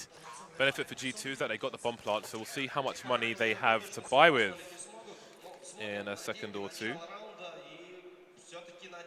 As that's going to be very key. If they don't, if they can't afford the buy, then Fnatic could have a 12-3 half it.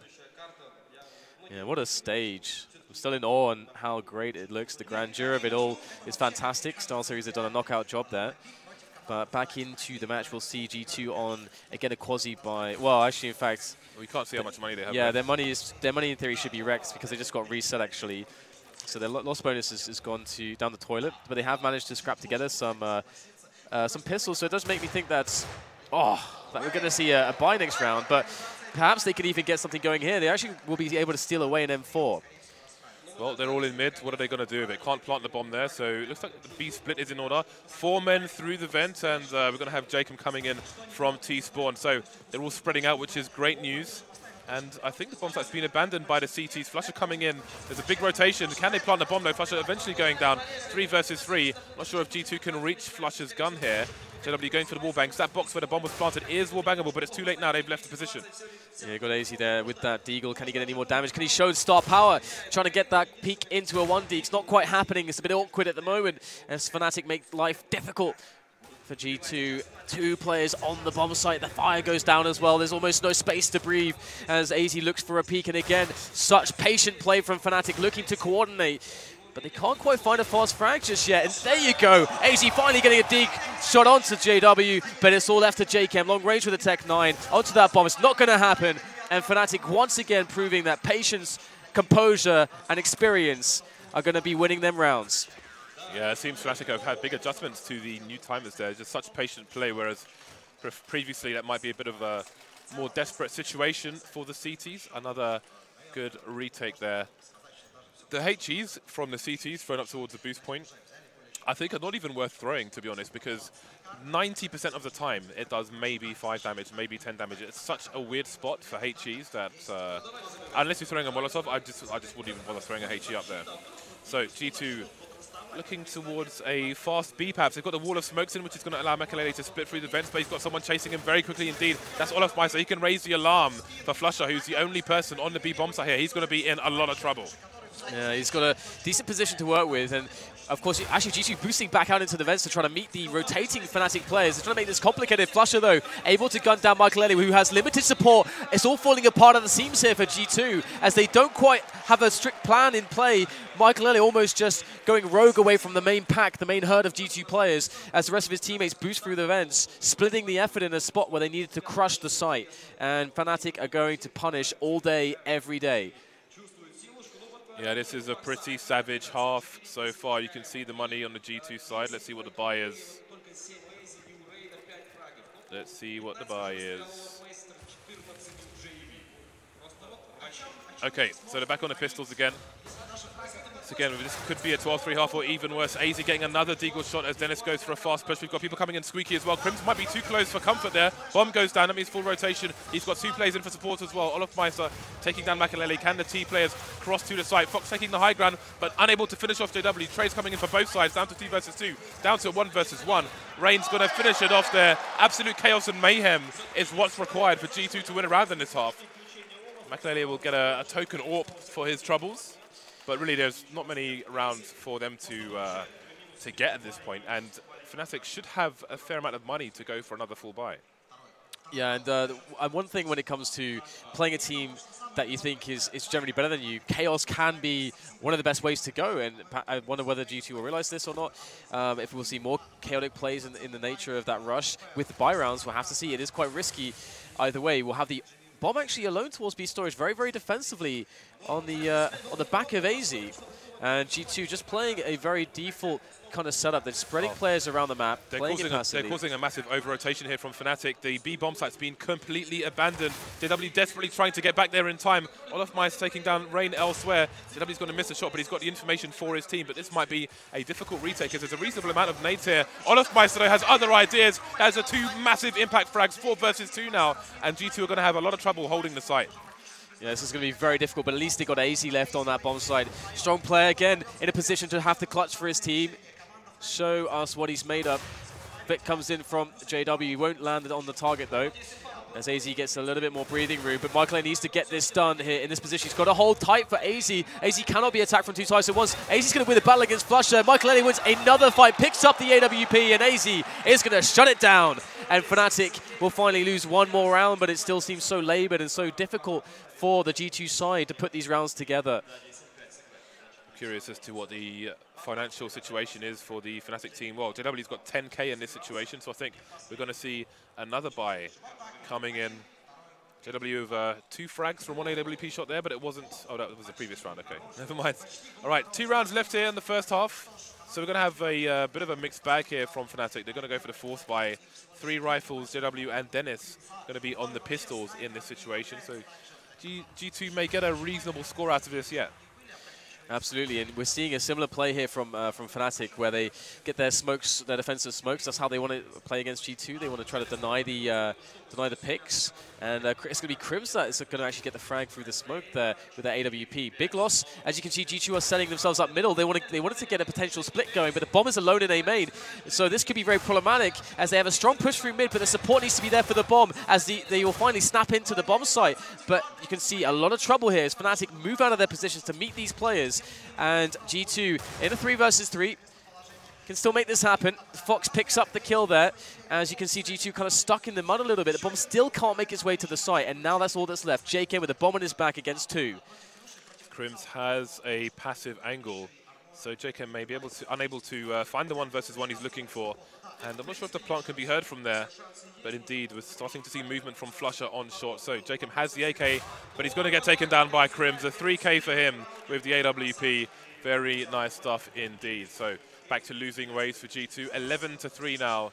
We may see the 12-3 from Fnatic after all.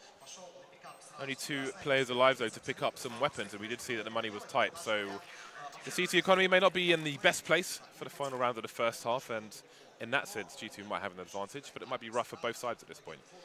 Yeah, and you can see Fnatic are really in their element at the moment, it would seem, is especially as we saw, you know, Dennis on the end there, very jovial mood, bit of a giggle, having a bit of a banana grin on his banana grin on his face. Uh, that's always good to see. You know, teams in good spirits. I'd like to see you know how G2 are looking uh, in a moment because they've got to be sweating at the moment. They've got to be sweating bullets because this is not working out for them. We'll get a quick boost here. And this could just work as well. flusha looking over the top there. Will he be able to get the spot? Fox is looking for the pick.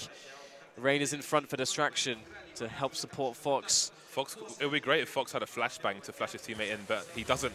And his teammate Rain only has a Tec-9, closing a distance in the uh, checkers, but he's going to be forced out with the Molotov. Great response from the CT side there. So again, mid's been given up to the side, to uh, the T side, excuse me. They've got three players in there, so they could set up for the B split here, considering the positions they currently have. The bomb, though, still in T warehouse, so the lack of people over towards A would mean that it's moving towards B, and indeed the split is coming in here. JW playing a sneaky position. Is it going to work out for him, though? Sees Rain, but can he punish? No, he's going to get taken down by Flusha. Sorry, Flusha's going to get taken down, but JW still alive, getting another frag for his team here, three versus three, as the CTs come in for the retake. Through the smoke, olofmeister will get taken down. We could see an 11-4 here. Yeah, we got uh, KRIMZ and Dennis on the retake there for Fnatic. It's going to be a very difficult one, but the bomb was only just set down, so there is time for them to make this one work. They both have kits as well. They've previously shown great amount of patience in these situations. This time is the, the first time we'll see them looking at a big disadvantage, but again, it's the last round, so they have to go for it. And here we go, Dennis making his way up higher, looking for the first shot with that great vantage point as his teammate goes for the pressure. KRIMZ goes down, two players facing at once, and we will see the 11-4, so somewhat of a some, some, some salvation at the end found there by G2, but it was a very tumultuous story for them on the, on the first half, and it's going to be difficult to see them scrap together a strong second half with only four rounds. I feel like the way G2 are playing at the moment, in general, they badly need to start on the CT sides of maps. Because that's where they can just hold, they can put Fox on an angle, he's super fast, and he can wreck people towards one site, and they can concentrate most of their forces towards towards A, basically. You know, Jacob's in there for backup if need be. When they start on the T side, you see the struggles there. They, they, their approach is, is lacking, to say the least. Again, they, they, say themselves they need, they need an in-game leader, and you can't disagree with them. So uh, it could have been, it could have easily been a lot worse than the current score, but they've got some breathing room to try and hold. But first comes the pistol, and this is going to be crucial for them. Maikelele with the defuse kit and the smoke, the rest of them are going to be on the Kevlar. Flusha, the nade man for the Fnatic side. Got some initial boost coming in. Perhaps they're going to go for a mid-take. That's actually quite a cool boost there because I think that will actually spot a timing if a CT runs close. So I think JW will always be able to see that, which, which is very cute because now they know that there's no one close left. So very cool stuff there. Nice small touches. And speaking of uh, touches, that's a strong one there from KRIMZ. He takes down aizy with, with the Glock already, and now mid is under control for Fnatic. So G2 in a pretty awful spot because they have no information as to what's going on, whether middle is uh, even occupied at this point. And Ray's going to get a quick peek in there just to see if the Fnatic side have actually moved either towards A or B at this point. and you can see that they're just holding their ground, waiting for more information placed to try to punish so far, Fnatic, again, just playing it patiently, coordinating themselves and going for the A plate. Indeed, and if they leave a lurker in mid, then it's going to be leave a funnel for G2 coming from the car position, but JW going down might not allow that to happen. Moving towards A now, they're going to have the crossover from the car position. No frags for the CT side yet. They've still got one player holding that position now, waiting for his team to come in. So it is going to be a retake, but from short and the car area with four Fnatic players on the site, spread out in three directions. Maikelele first to go down, man advantage for the T's now. Not anymore, olofmeister being taken down by Rain. Two players from the uh, forklift position for the CTs fighting with Dennis, but not going to get any frags just yet. Still trades for both sides. Now we've got CTs running all over the place, jumping around corners to avoid being headshot down to one versus one. Fox, can he get the third kill of the round against flusha, who's holding tight in the door? Oh, this is absolutely brutal. This is ridiculous. He doesn't have a kit either. Surely he can't win this round. This is very uh, frustrating indeed for Fox. Eventually gets a kill. There was a kit onto Maikelele, but he doesn't know where it is. And he's going to have to make a run for it. you can see that Fnatic are loving it. That's such a good way to win a round as well because, I Benny mean, Hill, please. I mean, it's so horribly frustrating and definitely a bit demoralizing for G2 and for Fnatic. It's so uplifting because they know they know what it's like to be on the end of that kind of a play. It's definitely not a good look for G2. Now, G2 can actually they can actually still turn this around. G2 again are a strong team. We already saw aizy with some excellent Deagle plays. And they do go for the force buy. Fox is the only one who didn't buy anything because he wants to save for the AWP, which is a very reasonable uh, decision. but his teammates, they really need to do a huge amount of damage, just win the round outright with the force buy. And we've seen them do that many, many times before in Cache. So don't count out D G2 just yet. But that said, Fnatic have been showing great anti-eco drills all tournament long. So would expect to see that after a passive opening that they come together for some of some kind of an execute to just limit the options of G2. And you can see they're using this extra time to just give G2 an opportunity to hang themselves, allow them to overextend one way or another so they can punish them for it. Two players holding towards B from Fnatic just in case there's a rush around the corner that one of them can't handle. Three AKs, so have the range advantage should they need it. Not many nades left though on Fnatic, two HEs and a flashbang, and they're coming together to move towards a site as a unit, which perhaps could be A. G2 with basically no information, going to have to gamble. That is a good timing for a smoke grenade to come into A. So that that's that's this can cause the bedlam that uh, G2 are looking for.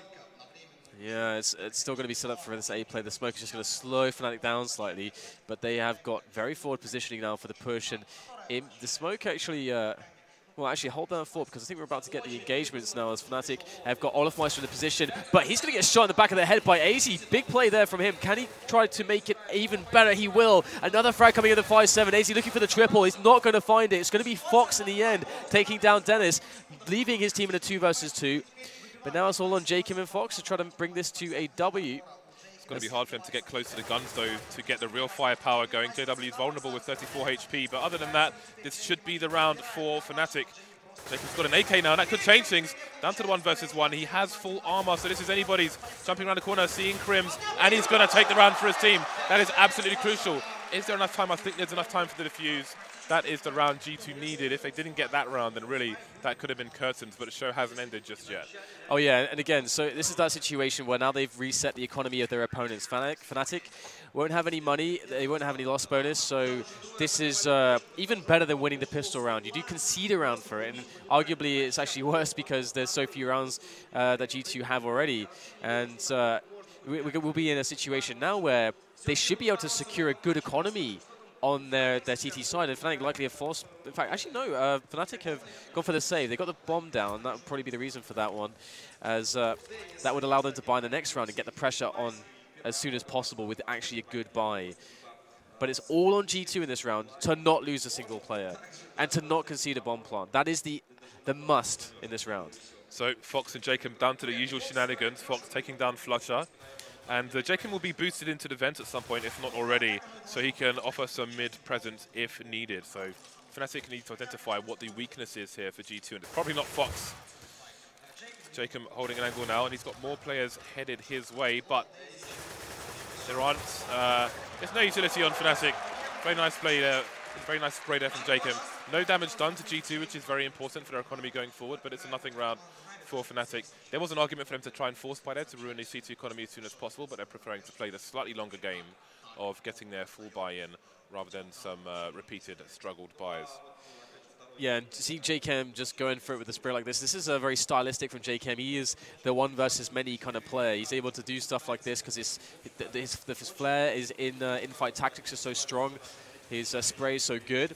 So seeing him on point is going to be very important, and we'll see that deadly combo with Fox and Jacob on B here. Fox looking for the first shot. He's going to miss it. And Fnatic getting closer and closer. They got the tech knives for the fast play, the nades as well to back it up. And now it's on Jacob to support Fox. And he's going to get two kills on the spray down. Can he get anything else? They're going to go for the challenge. There's number three. Jacob trying to do it all by himself.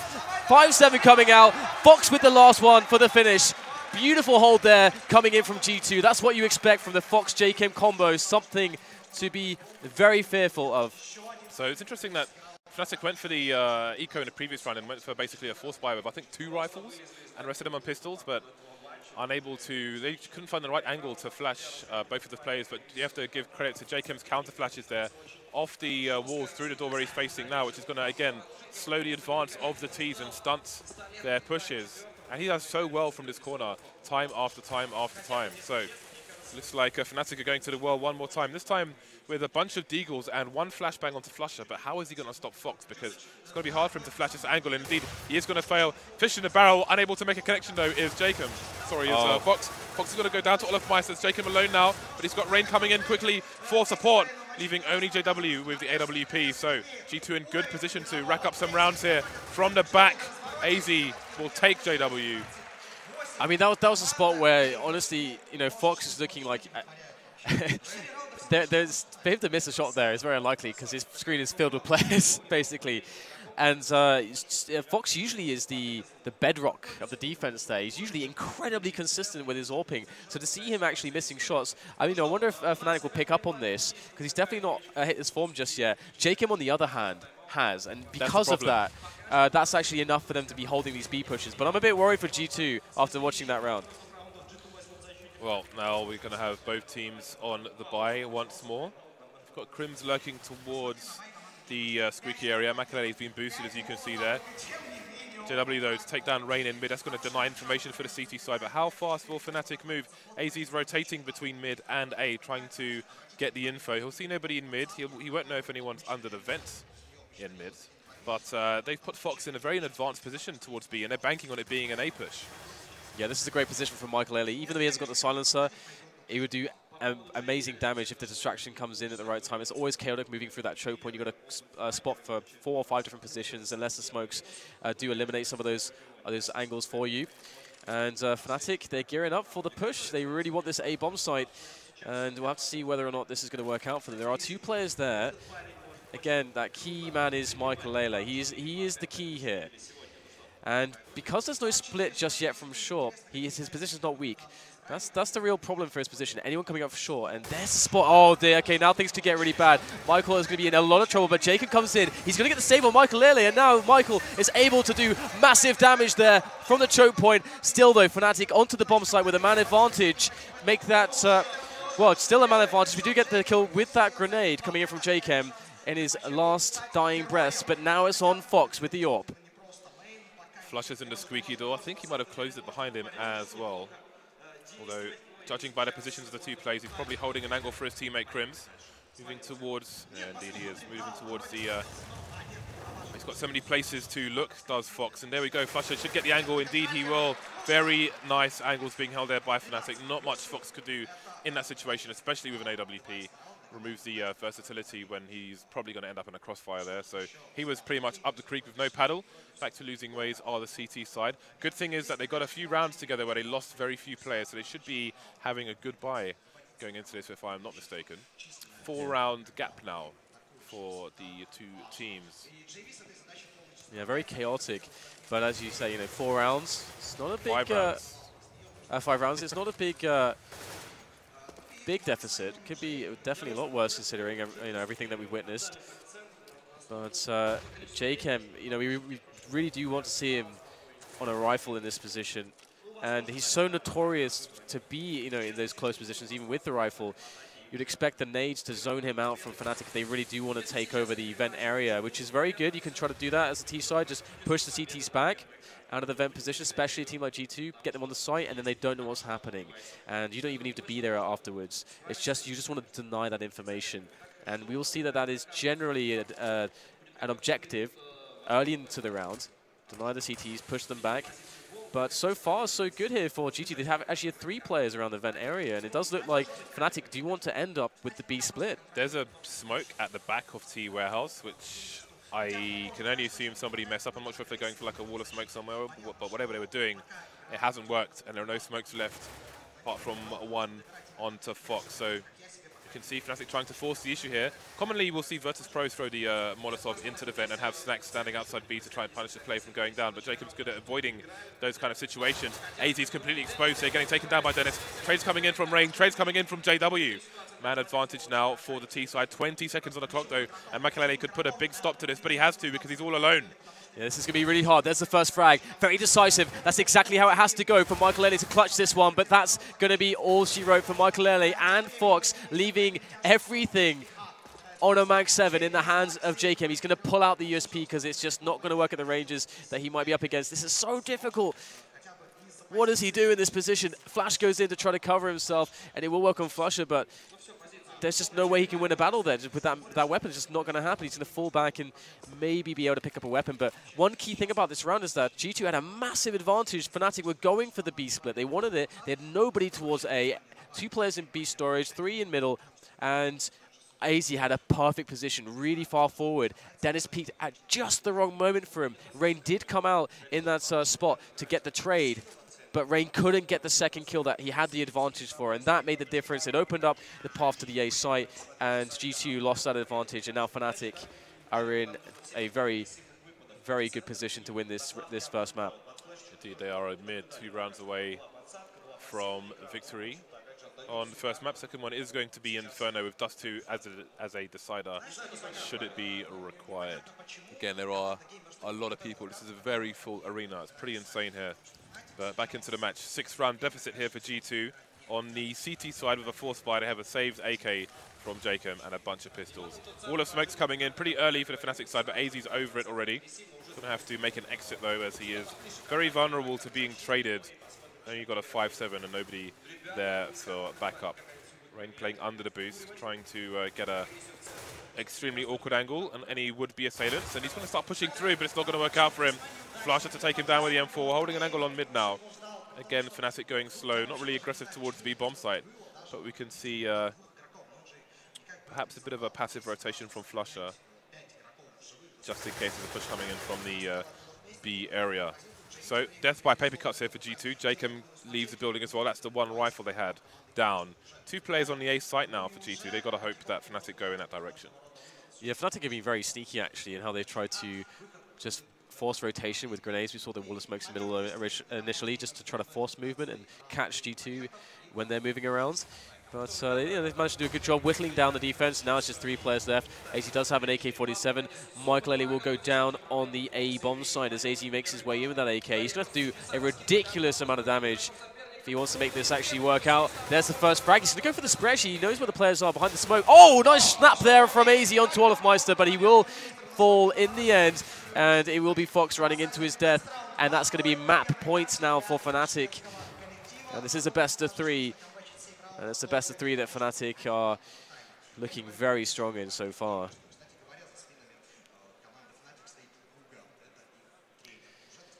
So, what do G2 do?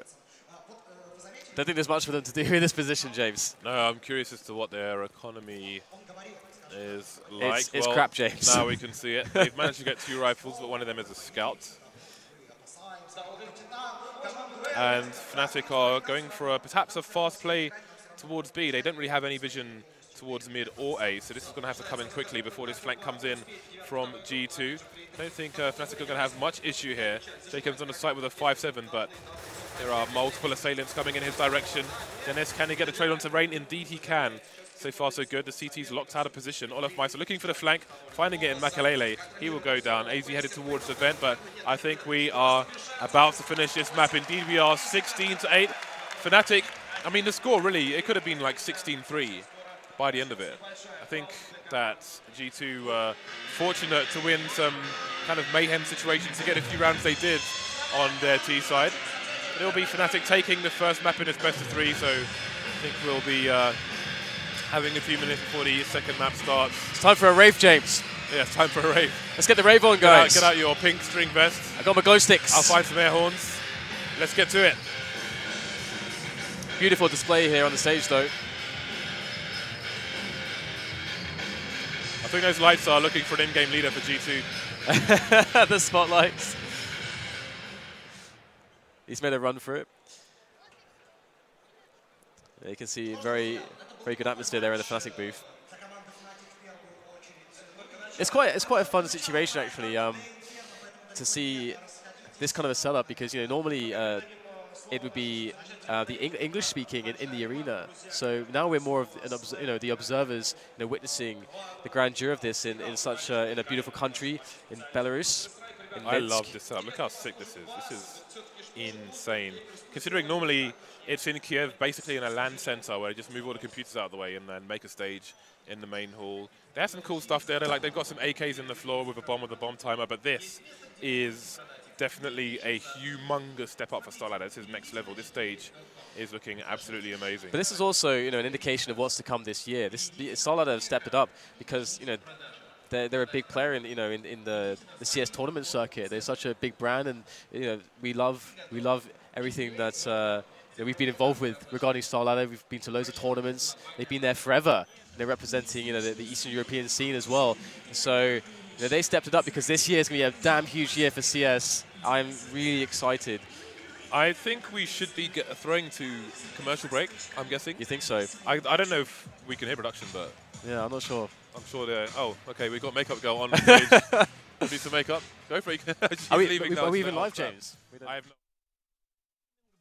Мы принимаем ставки на компьютерные игры онлайн с 2011 года. Реферальная система для постоянных пользователей и бонус на первый депозит. Магазин игровых девайсов и лучший выбор платежных систем.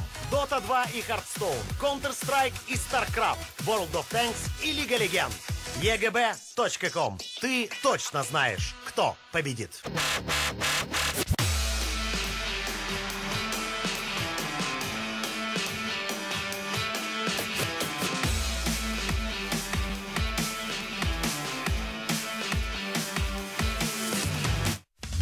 Есть лишние скины? Хочешь выиграть реально крутые вещи? Заходи на csgofast.ru, делай свои ставки и выигрывай реально крутые скины. csgofast.ru. Проверь свою удачу.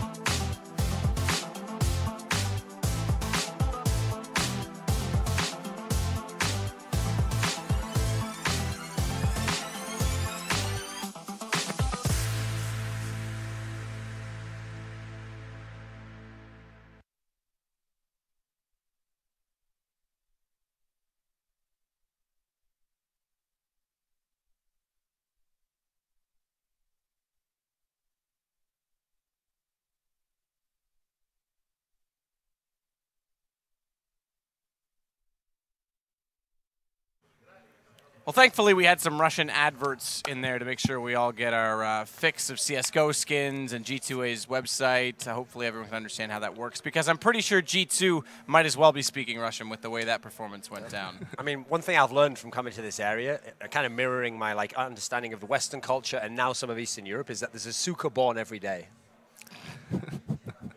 It's pretty Take that good. one home with you guys. It's good. Works on many levels. It's good.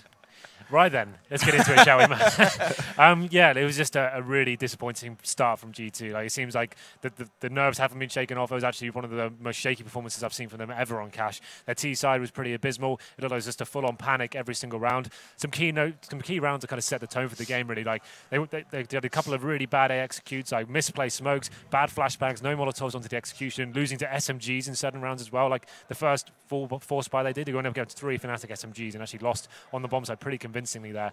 And then that round where Fox, they went for the fast mid boost. Fox just standing in fire, trying to get grenades off and like no scope people, gets taken down. That really just did set them up for this huge deficit. Luckily for them though, I guess that jkaem once again was stepping up. aizy was having some decent fragging. It was just the three names I called out before this game: Maikelele, Rain. These guys weren't performing once again. It was it went to show that I think they actually got off lightly with that scoreline. It could have been much much more of a deficit though. How the hell does a team that does this well at the major fall this flat, though? On their own map pick as well. Uh, lack of leadership. That that's obviously what it is. I mean, uh, it was so painful to watch the the, the beginning of that match. I mean, what uh, G2 decided to do on their T side, they were the lack of cohesion was so obvious. I mean, they were just standing around in some sort of a default, but pretty much just waiting for, for some smokes to pass, and then they would go for an A, a execute, as uh, Henry mentioned, with some botched smokes, It's grenades. just, it's shocking. It was Yeah. actually like like kind of like pug style fucking yeah, it, it was it was really really terrible to be to be honest, and I agree 100% that this could have easily been even a bigger score for Fnatic. They gifted them a couple of rounds, and I I think that Fnatic felt in a way that they knew whatever was going whatever was going on in the game itself, they were going to win eventually because it was obvious the the disparity in in, in skill in this particular game, and uh, yeah, I, I feel that if I, I agree with you with what you said in the previous segment, uh, Duncan, that they're probably going to be, you know, a, a farm team for, for bigger organizations. But if they, you know, if they still claim to be a team and they want to stay as a team, they need to make some, you know, huge changes in, in terms of leadership. Bring in maybe a coach or, Yeah. you know, get get that role sorted out. It, it just wasn't seems shocking as well because Dennis isn't like the big leader, and he's the only one that's gone. aizy's at the at the top level. We just saw he was the highest one on that map again, and still, you'd think that's a, a benefit, not a detraction from their skill. I mean, this wasn't a team at all. Like, it's here's the thing: it's not that playing a free-for-all style and having aimers means you can't be a good team. No, th- that's funny. That's exactly what you need to be able to do the free-for-all style. You need to be like the classic old NiP that had incredible synergy. You need to be like EnVyUs that play off each other without having a set tactic because they've got the right sorts of players playing the right sorts of roles. This is how you're able to play that style. The problem with this team is it's like you can they can only play the aiming style because that's their limitation. They didn't choose Yeah. to do that. That wasn't how the team was constructed, putting this guy with this guy. And actually, at the moment, when I look at this team, and some of the players are good players, I feel like it's like you tried to make a football team and you've got like three left wingers in the team. Like, mm-hmm. it doesn't make sense the way the team's set up. So, as a result, if aizy's going crazy, can we have Rain playing really well at the same time and Maikelele playing really well, but Maikelele can't use the ops now if the op to Fox? Like, there's so many problems and compromises in this team that actually they're less than the sum of their parts. And I think a good example of why you see them being so dysfunctional on the T side is you saw a lot of uh, multi-kill rounds from the CT players. You know, JW getting a double or a triple kill, uh, KRIMZ on the A side, Olof on the rotation. And what that uh, tells me is that even in, in those executes, they weren't so sure who's supposed to be looking at which Yeah. spot. You know, because how the how does that happen? It's when a player peaks and he gets maybe the one guy looking at him and then gets you know two players in a row Yeah. after that. Usually when you see teams entering a bomb site in an execute there are tra- trades going around because everyone's covering a certain spot you know where you have to you know which spots you have to look out for.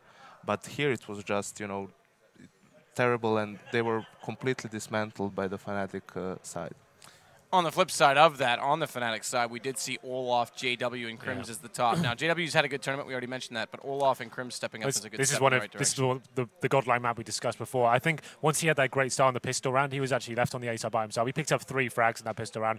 That kind of set him up for a really successful campaign. He finished with what like 25 frags. It just show, go to show like once you get that confidence back and you can feel the the buzz on the stage, you can feel yourself getting into the zone. He just went on and absolutely wrecked them going forward. I actually a really nice performance from him. Speaking of the stage, we do have an interview standing by right now. So, Duncan, I know you want to make a point. We'll come back to that. We're going to send it over to Smix, and we'll be right back in just a moment. Fnatic, so first of all, let me congratulate you to proceeding to playoffs. Uh, you had like a group of devs qualified from the second place, so tell me a little bit about your ride in the group stage. Uh, yeah, we had uh, probably the hardest group I have ever played with, um, and it was with both MVS and TSM and Titan, which all three are capable of beating us. So we were kind of scared of this group, but we're just happy that we uh, that we qualified for the playoffs. Is it true that Fnatic did not play for a while, like a one month break due to the Christmas holidays and stuff, right? Yeah, it's true. We had uh, maybe three weeks off uh, for Christmas, and yeah, just because we traveled so much and had a lot of events, and uh, yeah, so we had a we had a quite a long break. But we started practicing uh, one and a half week ago. So what about you? Did you spend some days off not playing CS, or did you actually play CS during the breaks? Uh, yeah, I, I didn't play for a while, but I played a lot as well. I had a few days off, but not more than that. I, I always play Counter Strike. I guess this is what makes you one of the best players from uh, last year. I guess some, some rumors that you're going to be awarded like the best player of the year. What do you think about it? Uh, probably one of the reasons, but I don't know if I'm the best or not. I, I'm just happy that my team wins a lot of events. That's that's what I care about. Right, so actually you have the chance to prove that you're the best and your team the best. Uh, so good luck in the playoffs. I hope that uh, our team showed that we are the best. Thank you. Thank you so much.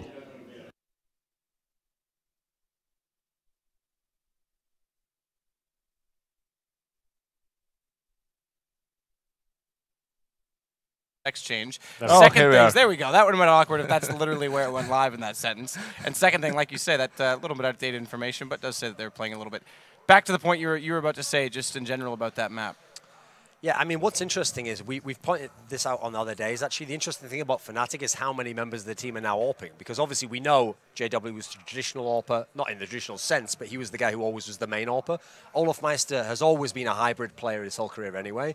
And then actually, last year, about a year ago, it was uh, flusha, when he was in his slump, started messing around with it. But what, what's interesting, though, I've noticed is when you talk about letting different players use the AWP, like the Fox Maikelele situation, it's all about style dependent. So, for example, the reason why sometimes you now see KRIMZ use the AWP is because he even uses the AWP the way he uses the rifle. It's very positional based. He does it because he wants to hold a spot from far away. He takes very smart shots. He doesn't go for the JW crazy flick angle shots. So, actually, he's one of those few players where he's not even a top two AWP on his own team. But sometimes I don't mind him doing that in that particular sense. There's a, there's a rationale, there's a logic behind why he does it. And I just thought it was interesting to bring up because he did see it a little bit in that game there. Mm-hmm. Now, moving forward into the next map, obviously we go on to Fnatic's map choice. Is there any hope at all for G2, and where do they even look to find it? Well, thi- this is one of the maps. Am I, You're am still on? muted. I don't know what's going on. Maybe Janko should fill this one in then. Do you hear me? I don't hear you. But you guys, Okay, you guys have wanna a, you guys have a chat. We'll just I be would up get rid of the plebs. Duncan, it's all you. um, I think for this particular map, I mean, this is obviously the one with the old Dennis lamp that they had the amazing game against EnVyUs at the major on, but you changed 20% of the lineup, especially one a key piece like Dennis, who wasn't necessarily the individual performer, but he was like the person where when he joined, they turned the corner from being the, just the also runs to a, a proper team.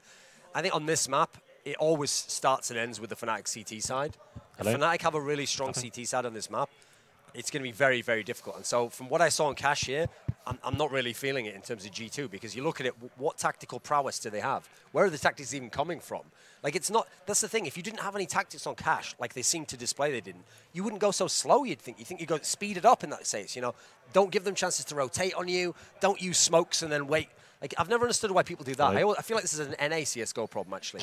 They've seen a really complicated strategy done by an elite level team. and They see, right, it involves like a, a one weird smoke They from this direction here and it has a flash here. And then you do it, but you don't know any of the reasons you're doing it. And so actually all you're doing is just wasting a smoke and then wasting a flash that actually, if you'd have taken the site, would have been more useful to you. So if for G2, either they better have an inspired performance by some of their individual players, or I just I don't see them being able to win it purely just because their T side will be lackluster, I think. We're missing a great opportunity to just wreck them with no chance for a comeback at I- all. what, what is this? Can, we- can you tell them? Sorry, excuse me. if you can hear me, I've got some really interesting, cool things to say. So Yeah, I- I- See you later. The funny part, he took notes this whole game. like, I've got- I've got he's loads of cool "Okay, stuff." Do you want See to ya, just pass them down here ya, and make mate. me sound Yeah. smart? Think we can come up with something. we've got we've, we've got loads of cool stuff here. Great. Uh, okay. Well, since we've got some time, you think this is obviously going to go two nothing. I mean, it does seem very much like it, it's hard to imagine it going another way at this point in time. I mean, remember, this should have been the first map should have been the one that G2 should have been able to win. Maybe if they'd had the crazy performance then, they could have won. Am I even live right now? I think so. Yes, you are. But Janko's gone over to tell production about the issues. Hopefully, we can get this fixed up. Like I said, there's a Suka born every day. And oh. anyone who thinks that's a, a horrible thing to say is actually a P.T. Barnum quote. I'm just pronouncing it differently. So, Google is your friend if Goo- you don't Google it, mate. understand the Google it. reference. And then go to Google Hello? Translate and type it in there as well. so, there you go. There's the joke for you.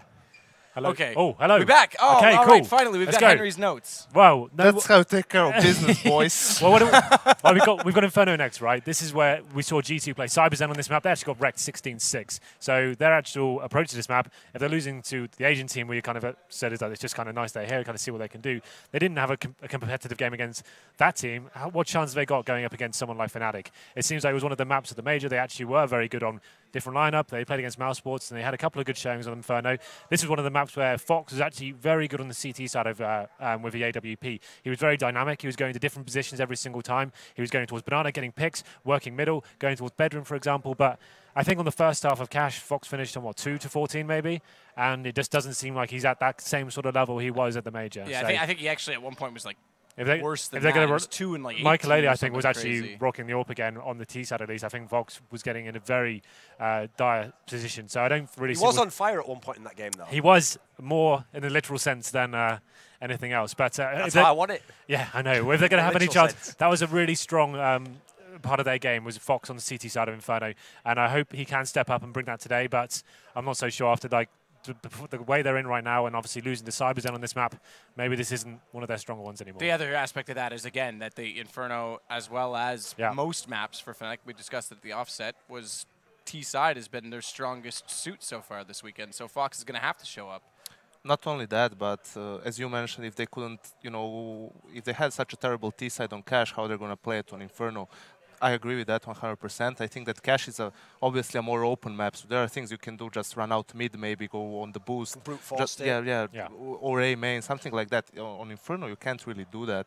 Where are you going to go? You have a lot of choke points, banana, uh, entrance to, to quad, mid, apps. Like you need to have some sort of a plan, some a, a couple of executes, or at least uh, you need to know how you're gonna get some map control, whether it's going to be mid, banana, or, or apps. And uh, I feel that if they're to have any chance, they need to start CT and have something ridiculous like 12 or 13 rounds. I- with- even if they start CT, I don't think that'll be enough. I Yeah. think, I think they're going to lose their CT I half pretty convincingly, if I'm honest. So I think starting T maybe just so they can be a little bit more random and kind of like just stay as a wolf pack, try and Just work get some it out of the way, right? I- Just get the agony over I, I think I think if they can win a pistol on T side and get a couple of rounds there, maybe get five or six, they'll set themselves on a decent platform. I think it'll be too demoralising starting on a CT half and getting wrecked.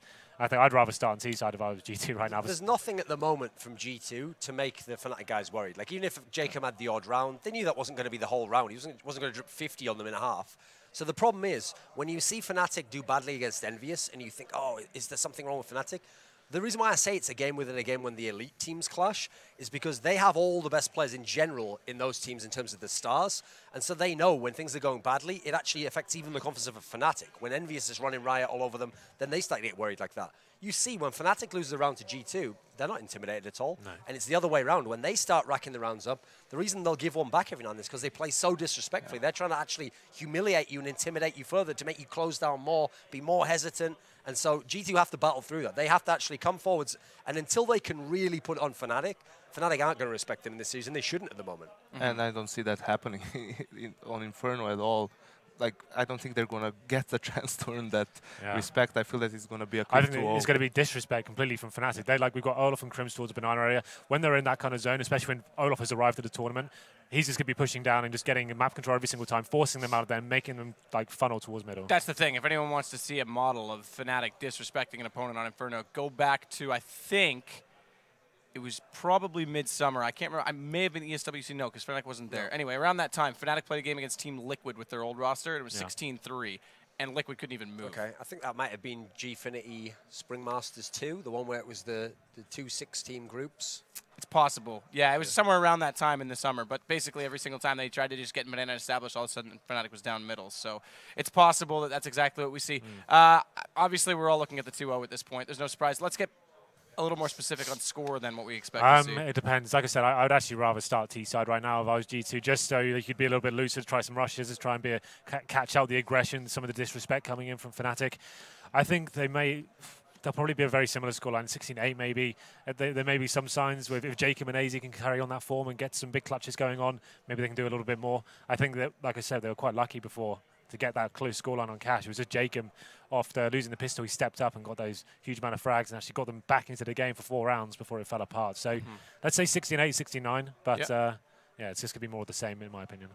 Yeah, I agree that. ag- I agree with that. I think it's going to be a walk in the park for Fnatic. They're probably going to just throw away a couple of rounds because of being, you know, uh, too disrespectful, maybe. So something around 16-6, 16-7 for Fnatic. Yeah, I definitely agree with that last point there. I, even though in paper, if they played perfectly at- the current level they're at, Fnatic could thrash them completely. It's actually more likely they'll give up a few rounds just because it's going to be so easy. In general, I think if for G2, for them to have any chance, the guy I'd want to step up is going to be Rain. Because Inferno's a map where you can get plants, and once you have plants, you know if you use the architecture of the map very intelligent, you can win from a, a man disadvantage. And the guy to do that in this team, obviously, Rain historically. So he didn't play well on the first map. He hasn't been playing well recently since he had this switch up. tournament, really. But if he can just play, if he can just turn that, if he can get a couple of those key clutches, we saw what EnVyUs did yesterday. When you when you have those those, those crazy clutches where you, you're losing the game otherwise, that could be the thing that could turn it. It won't though, and I think this will be a Fnatic 2-0. Yeah, okay. I, well, I think that's that's basically what we're looking at. It's going to have to be an absolutely incredible and big turnaround for G2 if they want any chance of extending this series. Otherwise, their tournament ends right now. To find out, we do send it back over. DDK and James, please walk us through it. Hello, people. So it's uh, almost time to get into the second map here, which is going to be Inferno. So Henry thinks G2 need to start on the T side to try some rushes and so on, but I think generally the way the, the team is going, they need to, they, they, they have to start CT side first just to try and get as many rounds as possible because it seems quite clear to me that CT is where they're going to get rounds, generally speaking, the way their team is playing at the moment. Yeah, I, I, mean, I agree completely, and also because Fnatic have been, generally speaking, so solid um, on their on their CT sides in the way that they can take aggression, but also easily play advantages and it kind of exploit desperation. And desperation tends to happen quite a lot in Inferno. For T sides, it's kind of the name of the game. Once you get all the smokes down, you keep re-smoking, you keep re-smoking. Sometimes you know teams get into a spot where, and especially you know a skill, you know, very high individual skill reliant uh, team like G2, you get into a spot where it just gets frustrating because you just have to make a call at some point. Fnatic have successfully done one of the most important things in a competitive match, and that is to force the other team to a really hard decision. And uh, we'll have to see if they can indeed win that knife round and uh, start on the the preferred side. Chris just running away there. Oh dear. Is he one of those, James? KRIMZ just one of the, Look at him spinning around there. KRIMZ Jackson. He's got he's got a he's got a method. There's a method to the madness. Oh, okay, the madness sucks. the madness sucks. I'm looking over to their booth. I don't know. I don't think he's terribly fast. But yeah. the, thing is, I really think that at the moment G2 might be living and dying by knife round. So that is, yeah. is, is huge. It's actually huge for G2 but now they have to deliver. I, I, really think it's going to be super tricky for them to try and figure out how to um, adapt to Fnatic's CT side. I think we've seen good adaptation for most of the matches that we've seen from Fnatic where they've um, discerned weaknesses in teams and tried to exploit them, especially on this map with, um, oh, who was it? I think it was, was it Titan?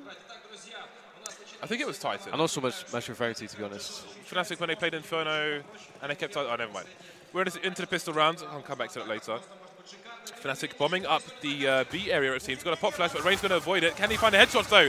He is overwhelmed. He's not going to find any connections with his bullets. He's got uh, Fox in the sandbags, but he's dead as well. jkaem's going to get wrecked. So, despite winning the uh, knife, they don't look good for winning the pistol. And that could uh, give Fnatic a great, a great opportunity to break the G2 economy when they get the buy and really rack up some rounds. And if they do that, then I really fear for G2.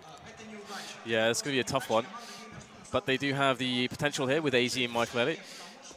Oh, it's going to be hard. These setups and construction are hard enough to deal with, but they can't even get to that point, it would seem, as Maikelele will go down in the end to olofmeister at range, and the pistol round will be won by Fnatic. So G2 not really having a good start on either map, and I do, I do fear for them here because G2 are the kind of team that are going to probably play more pressure buys, play more uh, kind of all in, uh, more of an all-in kind of a style.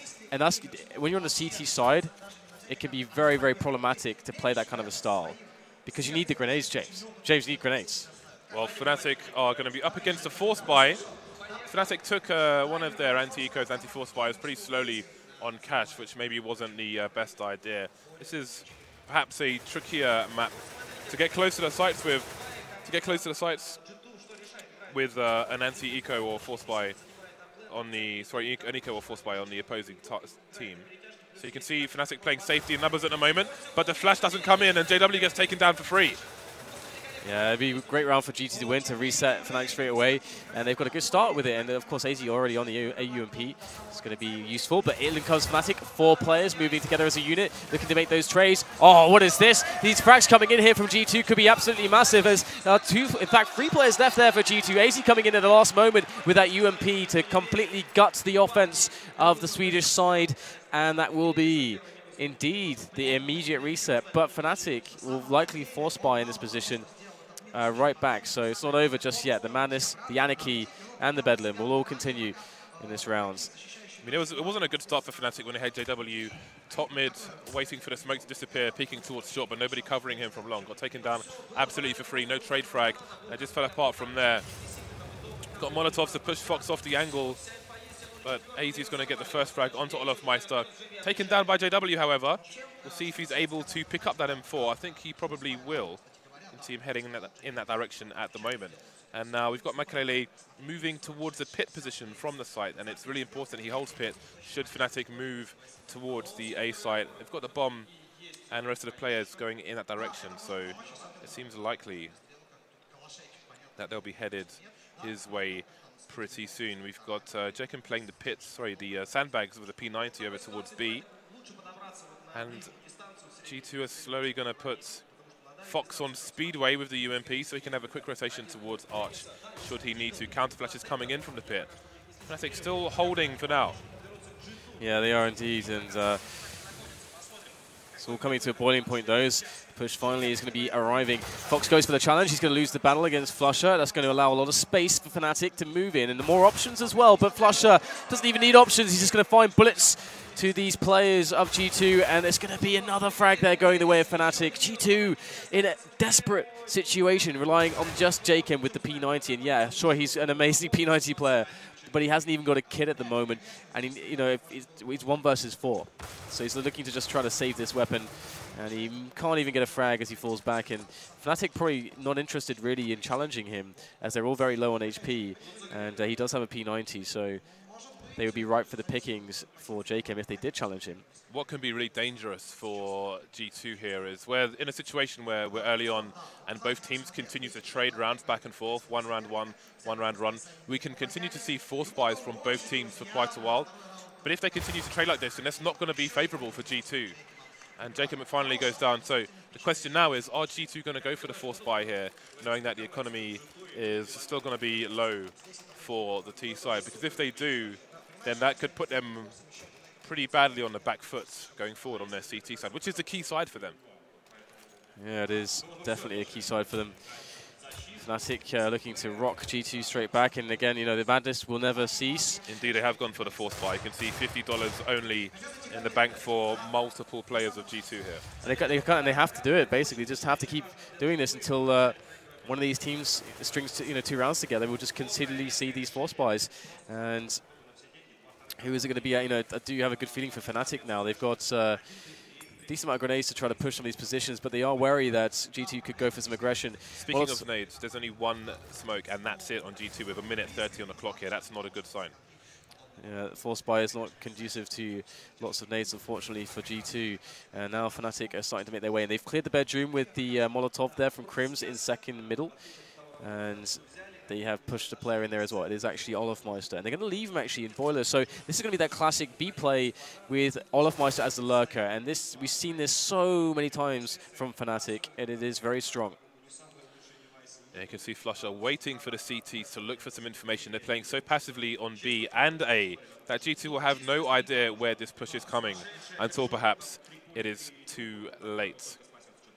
Got many Fnatic players now just holding formation towards B, and Fox is starting to move away as Fnatic set up for these nades. So jkaem's going to be isolated on the site unless Fox can get back in quickly. Again, no nades whatsoever now for the CT side. Seemingly waiting for a reaction, but there's a massive flank. olofmeister's in CT spawn, and uh, somehow they've missed that, and that's going to be a massive problem for G2.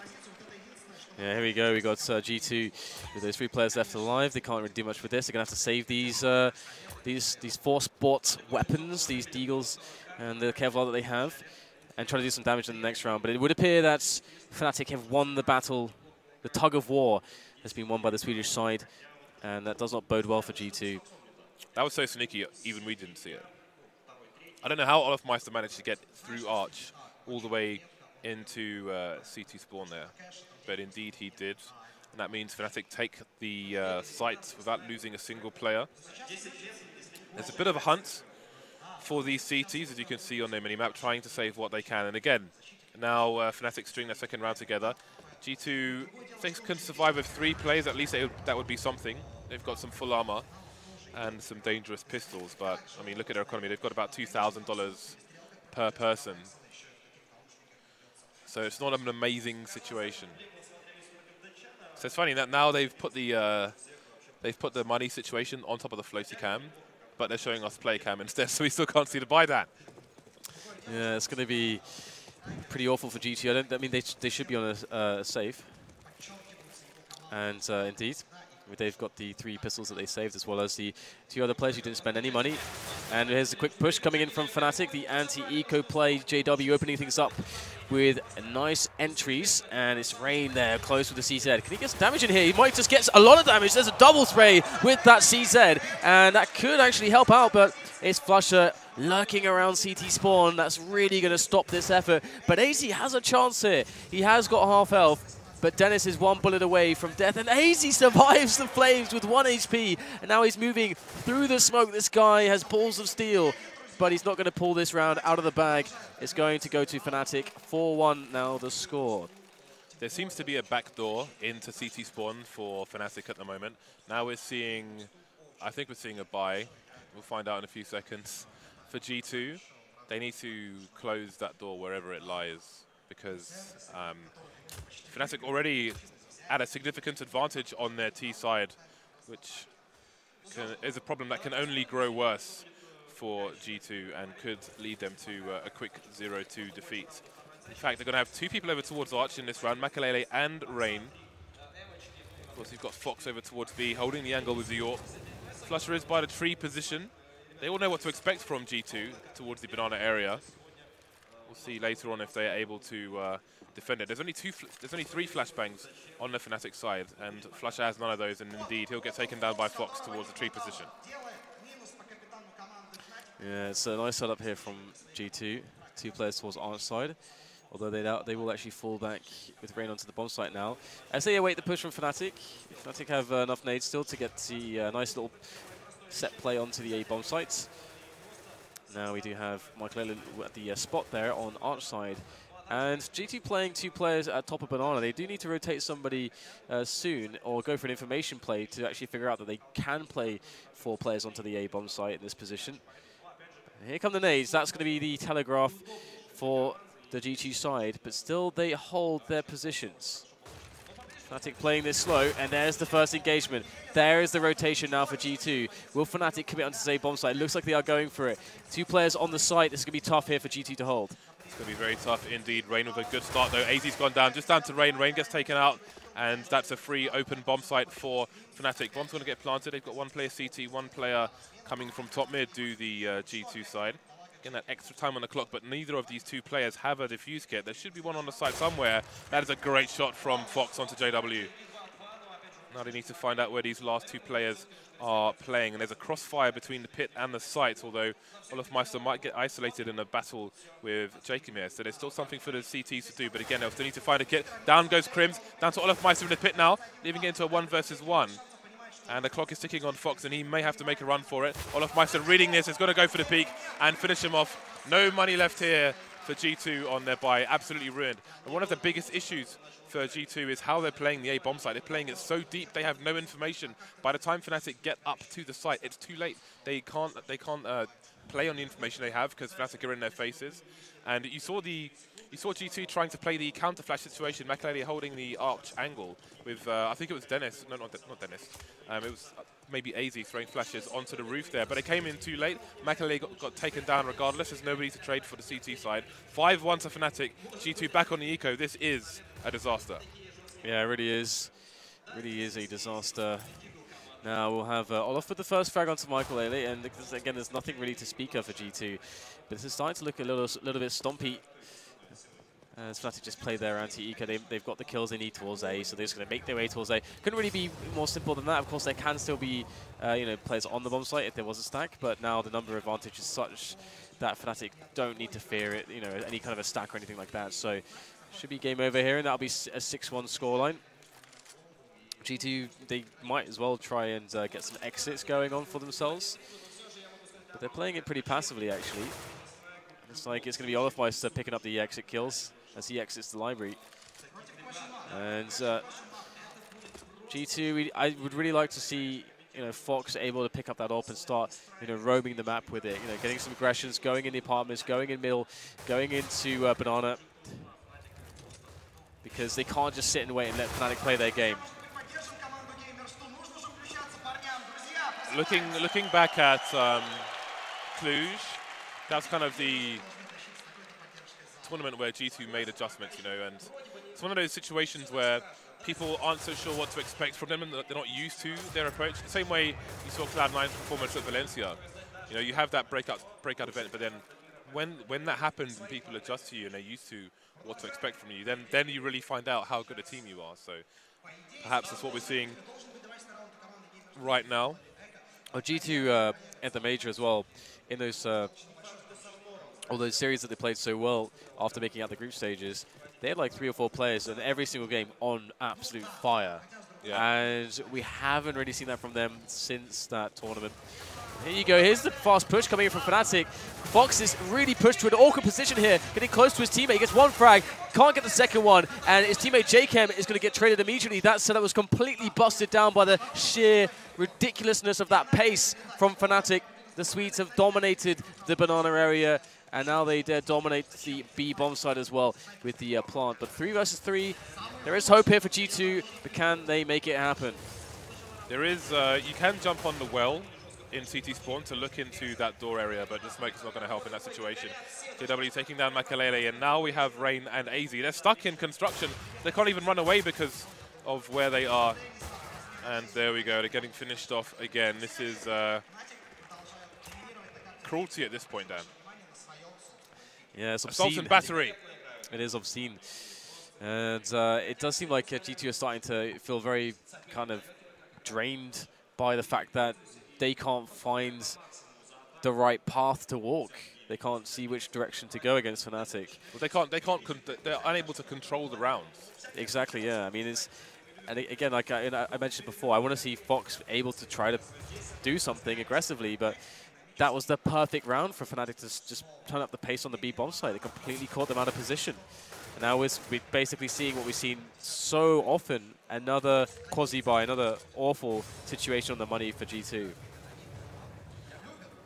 So this this should this round should be about damage and damage only for G2, like trying to get some damage in, doing what they can.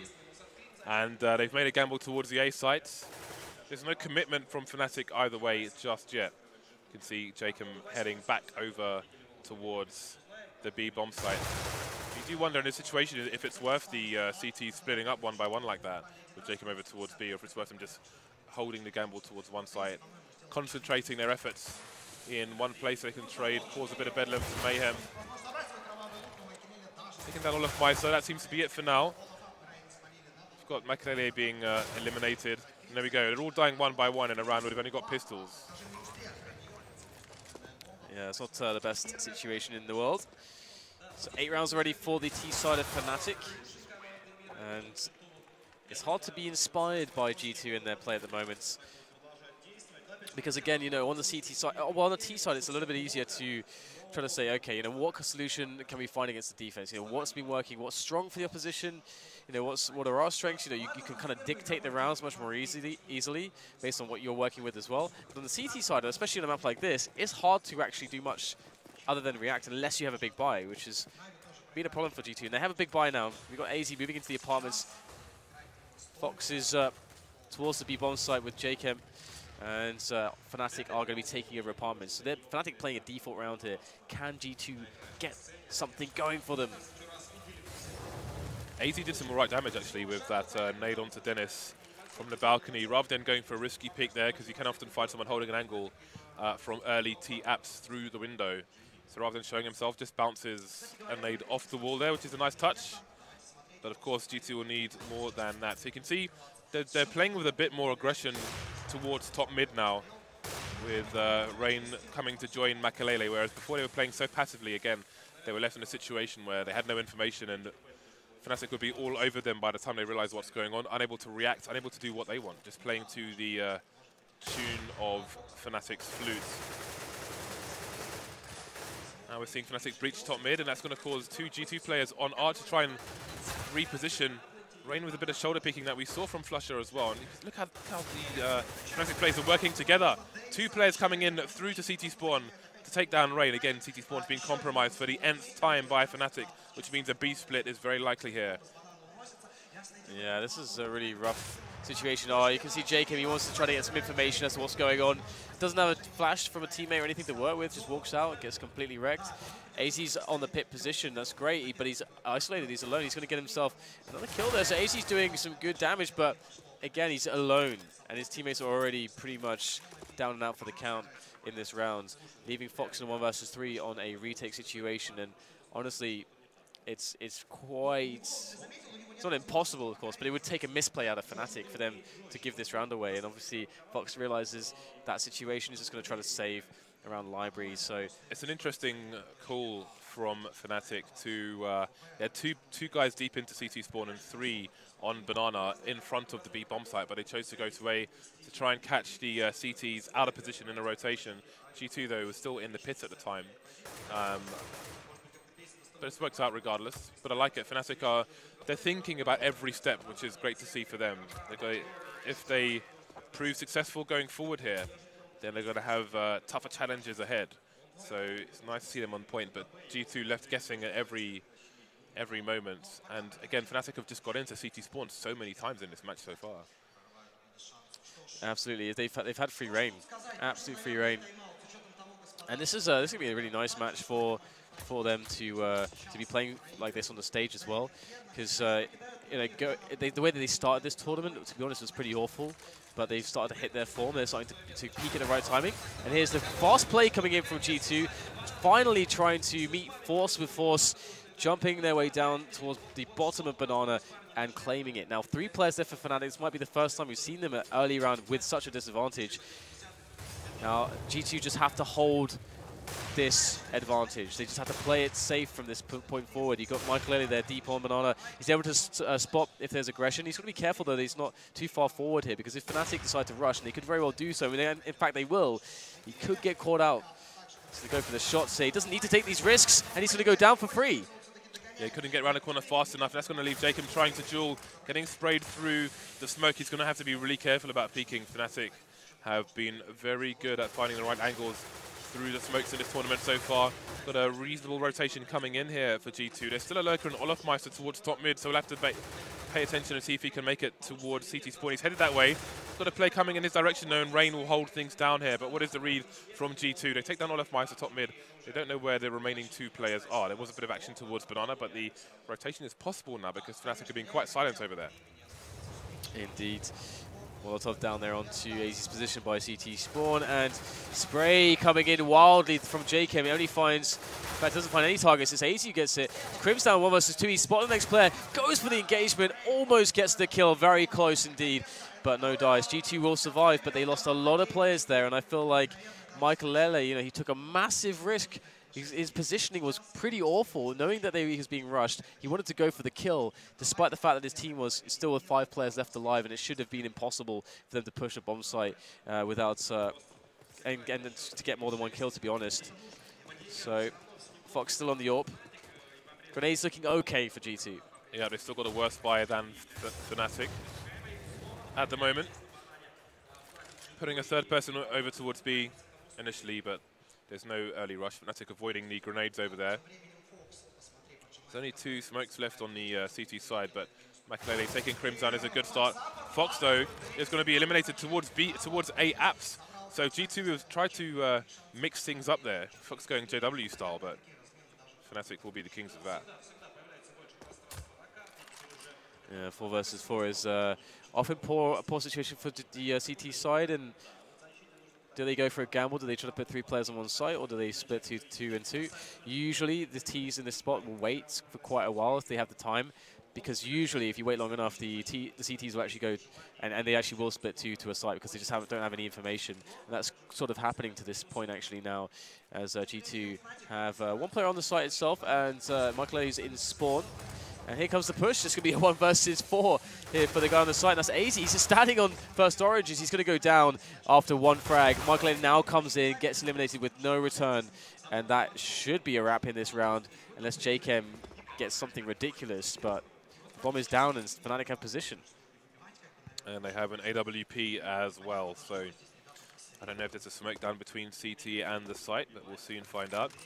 Again, I think we had... Uh, Rain jumping on the well, as I mentioned earlier, you can see into the doorway there through to construction, which can take people by surprise, but no engagements there. And once again, G2 going to have to run away with the tail between their legs. So I think their economy is going to be uh, in the doldrums once again. Unfortunately, I don't think we have contact with the observer. He's probably connected to the uh, Russian-speaking cast. We can't bring up the scoreboard on request. Wow. That is beautiful. Absolutely stunning stuff. Yeah, very nice crowd here.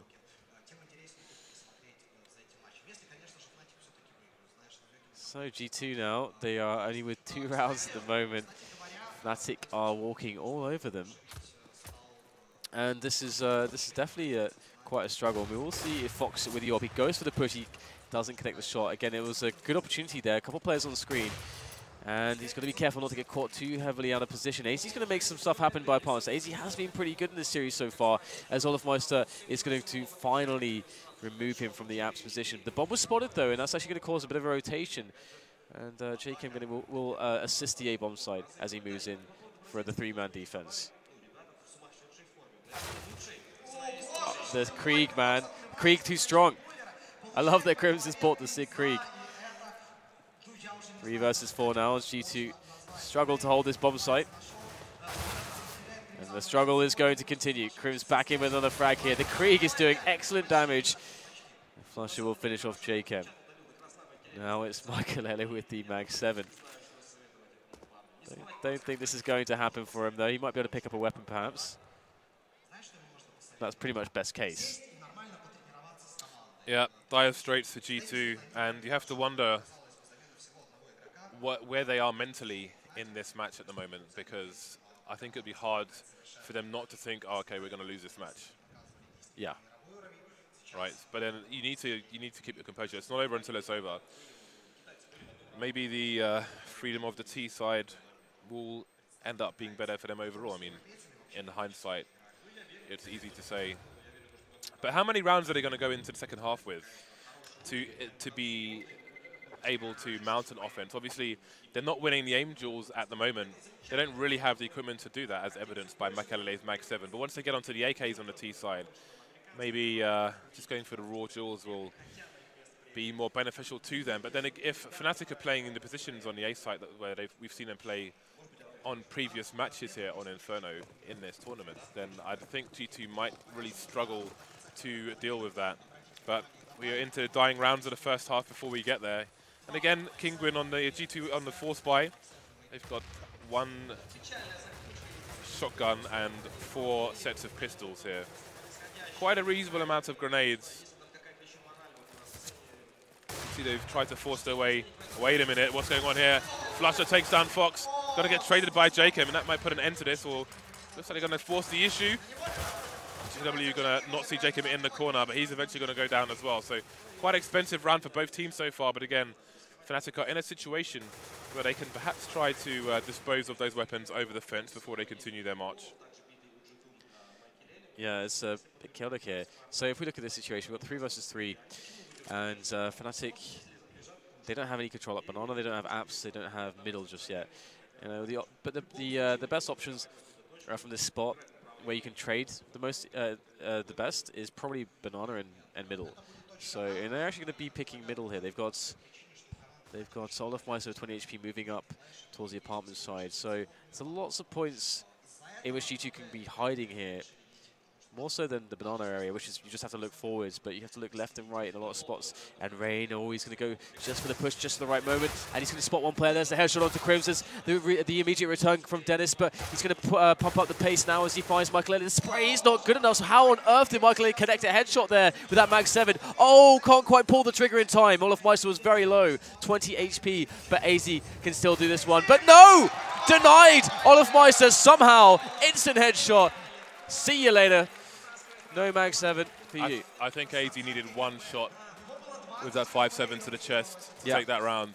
But olofmeister, 20 HP. He is going nuclear versus G2 at the moment. Great play by him. Can't get over how sexy the stage is. Yeah, I know, we've seen it so many times. For a little bit too long. Triple Mag 7, not every day you see this, not even in Oceania would you see triple mag 7? You might see triple law, but not triple mag 7. Yeah, indeed. JW gets a quick kill there in uh, middle, so already Fnatic start things off with a nice nice uh, advantage. And, you know, he just caught some aggression. You know, G2 just trying to make stuff happen, trying to force the uh, square piece into the circle, into the circle hole, and it's not quite going their way. Now, JW with another pick. This is just heinous right, right now because he's just a one-man army. Dennis picks up a kill by by the banana side as well. And oh, things aren't looking too good for him. But Jacob at least gets something done with the mag. And there you go. Rounds over before you know it, and that's 32 first half. But that's that's T rounds for Fnatic. That's that's so scary. They're so good on the CT side as well. I feel like both halves, or both, both first halves of these two maps sh should have seen a 13-2 score, to be honest. Well, there we go. It's funny actually. Again, you know, we have the the Russian commentary in the arena. We're kind of uh, uh, almost third party to it, and it reminds me of all the. Uh, uh, back back in the old StarCraft days when Tasis first went to Korea, because you would always you would always see him in that situation. And that was always very interesting to get an insight into that culture, and uh, you know, we're getting to see some wonderful things here in Minsk amongst a lot of snow. Most importantly, a wonderful crowd that's turned up to the arena. Time. G2 not off to a good start there. Olof is going to get traded on Banana, but uh, there's a bit of baiting going on there. You can see JW is behind the sandbags, or he's not going to wait around. He could take down the bomb here. The bomb's on his own on Banana, and he's going to lose the duel. The bomb's lost on Banana for the uh, T side. Maikelele finds himself on the A site. What a disaster. Oh my god. It's not good, James. It's not looking good. This is a slaughter at the moment. Fnatic have just gone Super Saiyan on G2, and G2 just cannot cannot comprehend what's going on. 42, I mean, again, it's the spot where we saw, we actually saw a similar spot on uh, the last map uh, where, you know, G2 had to win a force buy. Again, it's, you know, not out of the question for them to do that. And it does put them in a good spot economically, but they just need rounds. They need rounds more than anything.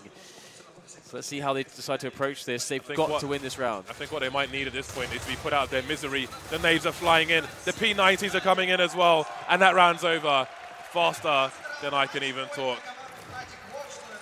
That was really anticlimactic, James. That was over faster than you can microwave a pot noodle, Dan. Man, that brings me back to my uni days. Days of the pot noodle. So 15-2, Fnatic on match point. G2 about to be eliminated from StarSeries 14 grand finals here from the Minsk Arena. And look at this.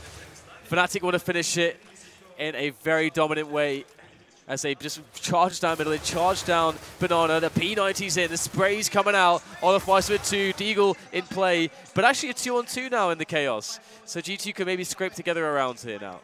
Fox heavily tagged, JW heavily tagged. Weapon advantage has to be with the uh, CTs here. Fox is unfortunately going to miss both of them, but maybe he hears JW in construction. He's going to be much quicker on the trigger here. Still alive with 6 HP, and he'll, he will be a problem. Rain has a lot of time here, so he doesn't need to go for a bomb plant anytime soon. Doesn't have the range with the P90, switches to the Deagle, and Fnatic finish what they started. G2 gets stomped into the mud. That's like some Ivan, Ivan Drago business. If he dies, he dies, and G2 certainly did in this match.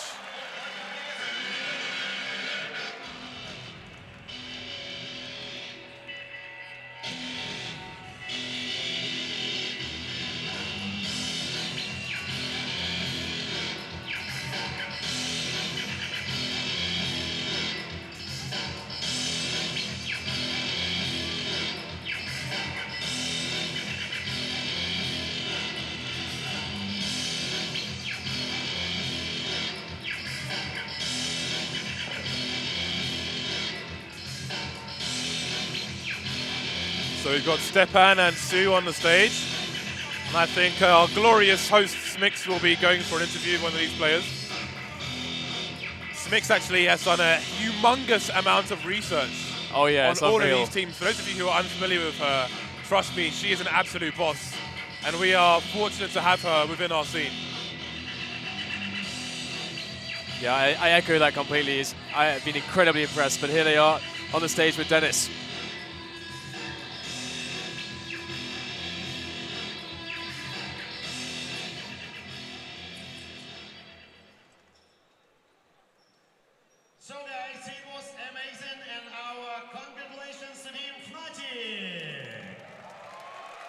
I love Stepan. I think that we are enjoying this game and uh, it was incredible. So right now I'm let me introduce Smix and Dennis. Uh, guys, how about you? Hello. Thank you very much, Stefan, and congratulations, Dennis. After a sort of a rough start to your first day here, you guys are able to redeem yourselves with a really convincing 2-0 victory over Gamers 2. You guys just seem to be in really good condition. How is it from your perspective? Yeah, I think we are. Um, I, we play very well right now. So yeah. I want to talk about Cache uh, first. I know that that is Gamers 2's one of their best maps, but actually you guys have played Gamers 2 on Cache pretty much recently. It was actually in the StarSeries European qualifiers. You beat them 16-1, so I'm wondering if because of that you guys felt more comfortable and confident heading into that first map.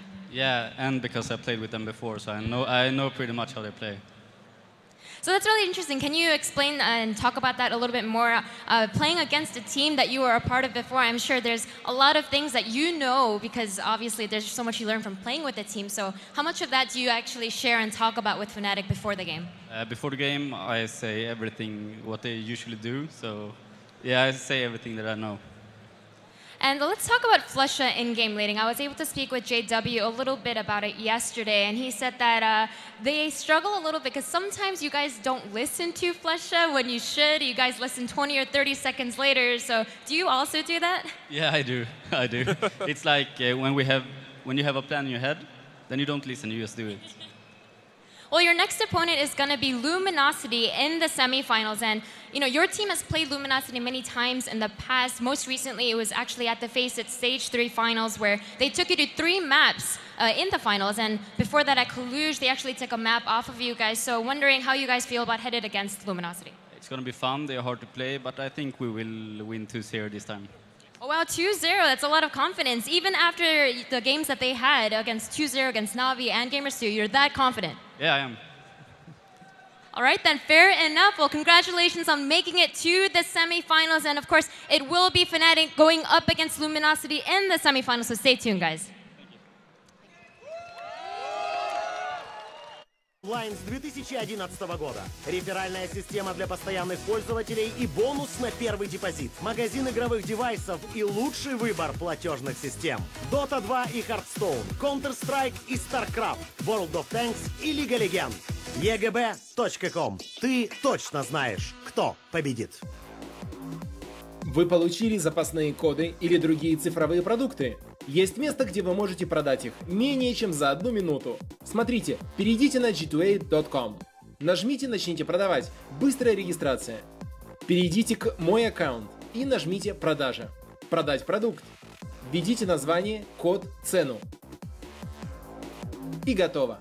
g2a.com. Цифровая торговая площадка. Упрощенная глобальная продажа.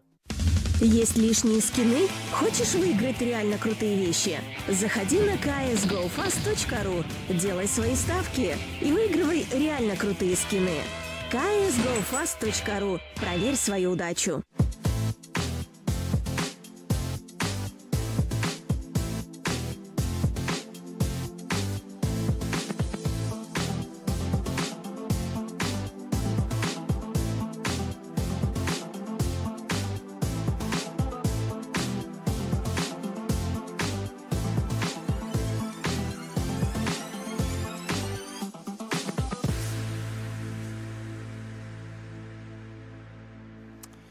Thankfully, the Score Esports advertisement is in English because that's the only one I understood. And speaking of apps, I actually downloaded one halfway through that game that predicts the future. I asked about G2's chances as a team, and this is all it's been showing me for the last half hour. I, I don't understand why.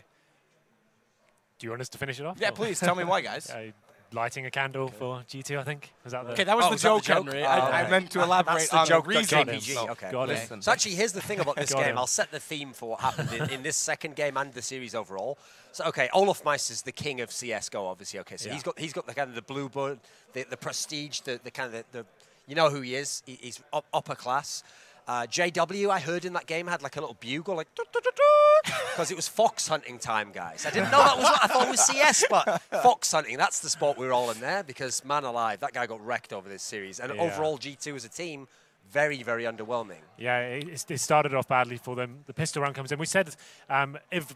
Well, I actually said I'd prefer them to start on the T side. They got the CT side, normally the, the more favoured side, but when you're losing 13-2 on your CT side of Inferno, you've got to ask yourself some serious questions there.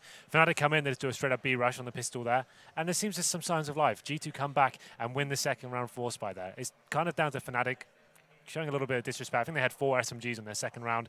That can work, but it's normally kind of uh, you don't really want to do that against CTs that are forced up with CZs and armor. It's not really that effective. So they bounce back, but then all of a sudden, Fnatic come to life, and it's just a complete wrecking machine. They stay together. They have very good fundamentals. It wasn't so much as a tactical approach. They just traded very well in the, the certain, scenarios. Just smoking off towards Arch, staying together onto the bomb sides, making sure anyone who went down, it was answered back straight away. And as I kind of predicted, Fox did pick up the AWP. One of the first frags into the game, he gets the first frag down towards middle, and then they can't even like they, they try to adjust and try to make their setup effective, and then it's getting picked off every single place. I think Fox finished on four frags in the end, and he was the CT player we said had to go big in this I have series. To, I have to point this out again because aizy curse continues, and I don't know why it's a curse because he's the new boy. They've sucked ever since they got him. I'm not going to use any other adjective. And again, he's the only one that's even showing up in the frag chart. Well, it says Tim and Jacob again. Like the other three guys were just unexi- like didn't So even come onto the For server. at aizy, all. this is like you were in prison, okay, and you'd been working out in prison, and you'd been like writing for your appeal, and you'd, you'd gotten a few degrees while you were in there. You're like, if I ever get out of prison, right, you know, Yeah. I'm going to be really successful in the real world. And someone was like, oh, come on, we're going to move you. Actually, we, you're getting out of prison, mate. Oh, brilliant, yeah. You get in the, the truck, you go along, and they go, welcome to this brand new. Top quality, high security prison. You're back in prison again. oh, what is this? I thought I was out of prison. Ah, I take it back. Okay, there's and the also, performance. speaking of being in match, though. prison, it looked a bit like uh, G2 was in prison with How- the way that was going. Map best performance. Michael Eder with I, I, six yeah, so apparently that the other the other one was combined, but where it was 13 kills combined see, for so aizy, right. you can see why I was misled. Okay. So this is just this is just Inferno now, right? Yeah. So Maikelele's got a map best performance with six kills. Um, That's that- nice reading skills right there. Good eyes, Henry. What is that? Is that what did it say? No, that was correct. I was just clapping because that's a no, I'm s- fantastic total. That's I'm you- saying you know how- no. I'm surprised That's- he's actually. I'm, I'm making That's the three point. that times more he's- rounds than his team that? won, so obviously that's impressive. I'm just sort of surprised you make it to a top five on the server with six kills. That was pretty. I don't know. I- pretty Yeah, that, nuts. that chart did. thing is, earlier earlier in the broadcast, we did reference when we are talking about Inferno. Okay, you see teams like EnVyUs win the T side of Inferno sometimes. That's because they're the best T side teams in the world. Do not, if you're a new watcher to CS:GO, imagine that this was in any way reasonable. If someone tells you it's going to be a 16-2 on Inferno, you are automatically going to say, right, they must have started CT, must have been a fantastic half. You very rarely even see 16-2s from teams who start CT Yeah. half. When you get absolutely battered like that on your CT half, you have no business being on an, an Inferno game right there. I mean, the most humiliating round of all for me was when those two guys from G2 got caught behind the sandbags. Oh, One had an AWP and wasn't.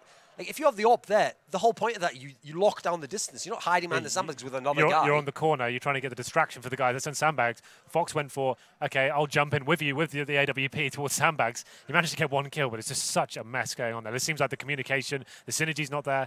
Everything that could have gone possibly wrong for G2 there happened. Every single clutch and every single situation just That's seemed like- to go against them. that. That whole play is like the guy that like the Bears chasing. One guy hides and he just comes and hides right next to the other guy, and the other guy's like, "What are you doing? what? The Bears gonna get us both now?" Like, I think that's a? Canadian story there. Like, I haven't had a lot of experience bears. running away from bears. Like, oh, this is my spot. You know the etiquette of bear chasing.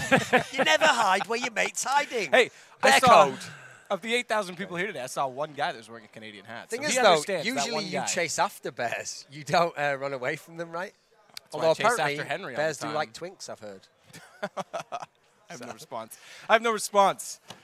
Janko, save me. This is what you're here for every single time.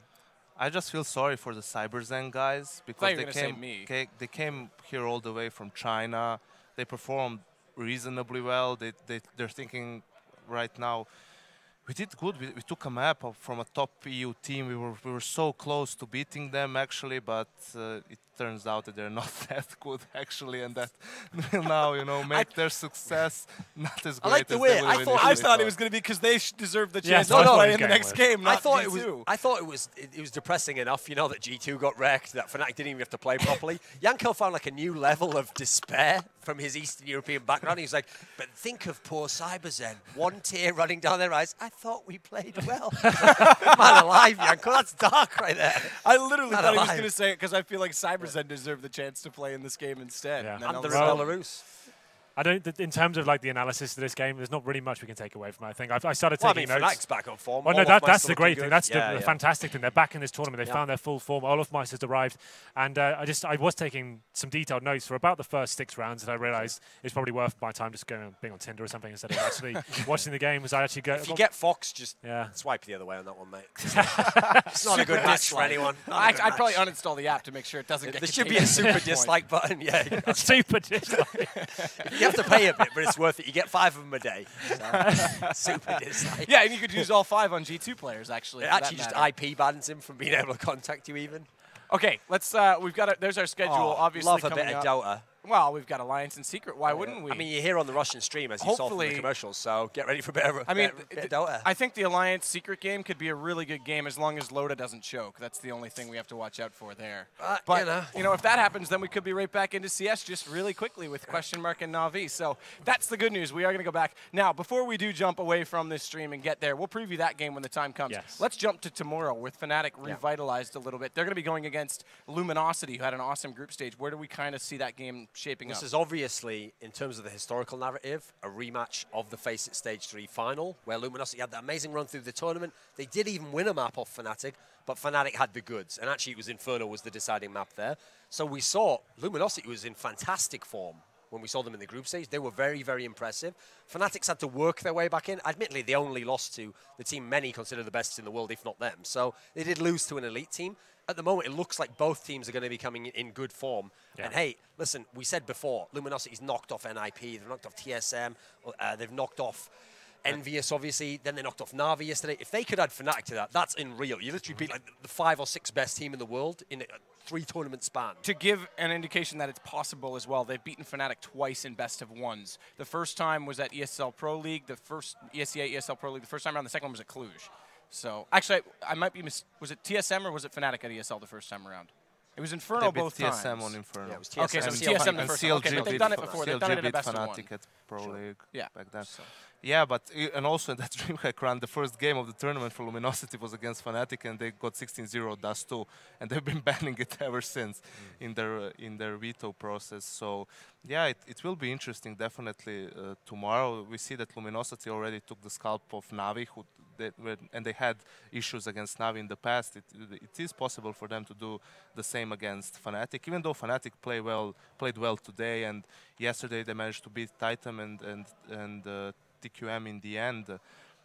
They're still not, I feel, at a level that they would like to be, you know, and maybe not even at the level they were when they won those three tournaments in a row. So there's definitely room for Luminosity to make an upset here, for sure. It also means more if you win in the playoffs. Like, because of the Yes. format of this tournament, okay, it's cool to beat Navi, but for all you know, kind of like what happened with EnVyUs beating Fnatic in the ESL Pro League group stage, if you beat Navi in the group stage here, but then you just go out and then Navi, for example, goes on and wins the tournament, no one will remember that you beat them. They will in a way, but no one will care. If you beat Fnatic in the quarterfinals of a tournament like this, put them out before the top four, that'll be huge story. This is that, that was kind of the, I word the, used the word inconsequential and was correctly called out for that because it wasn't an inconsequential game. It did have a seeding matter and obviously put Luminosity in the Yeah. semis. But the one time that they beat Navi, it is the time that literally, it, like just- you're saying, could be the one that's forgotten. It's not a playoff game. It's, it doesn't really affect the, the tournament too much in a way. Like obviously, you're going against an elite team either way. It doesn't really matter.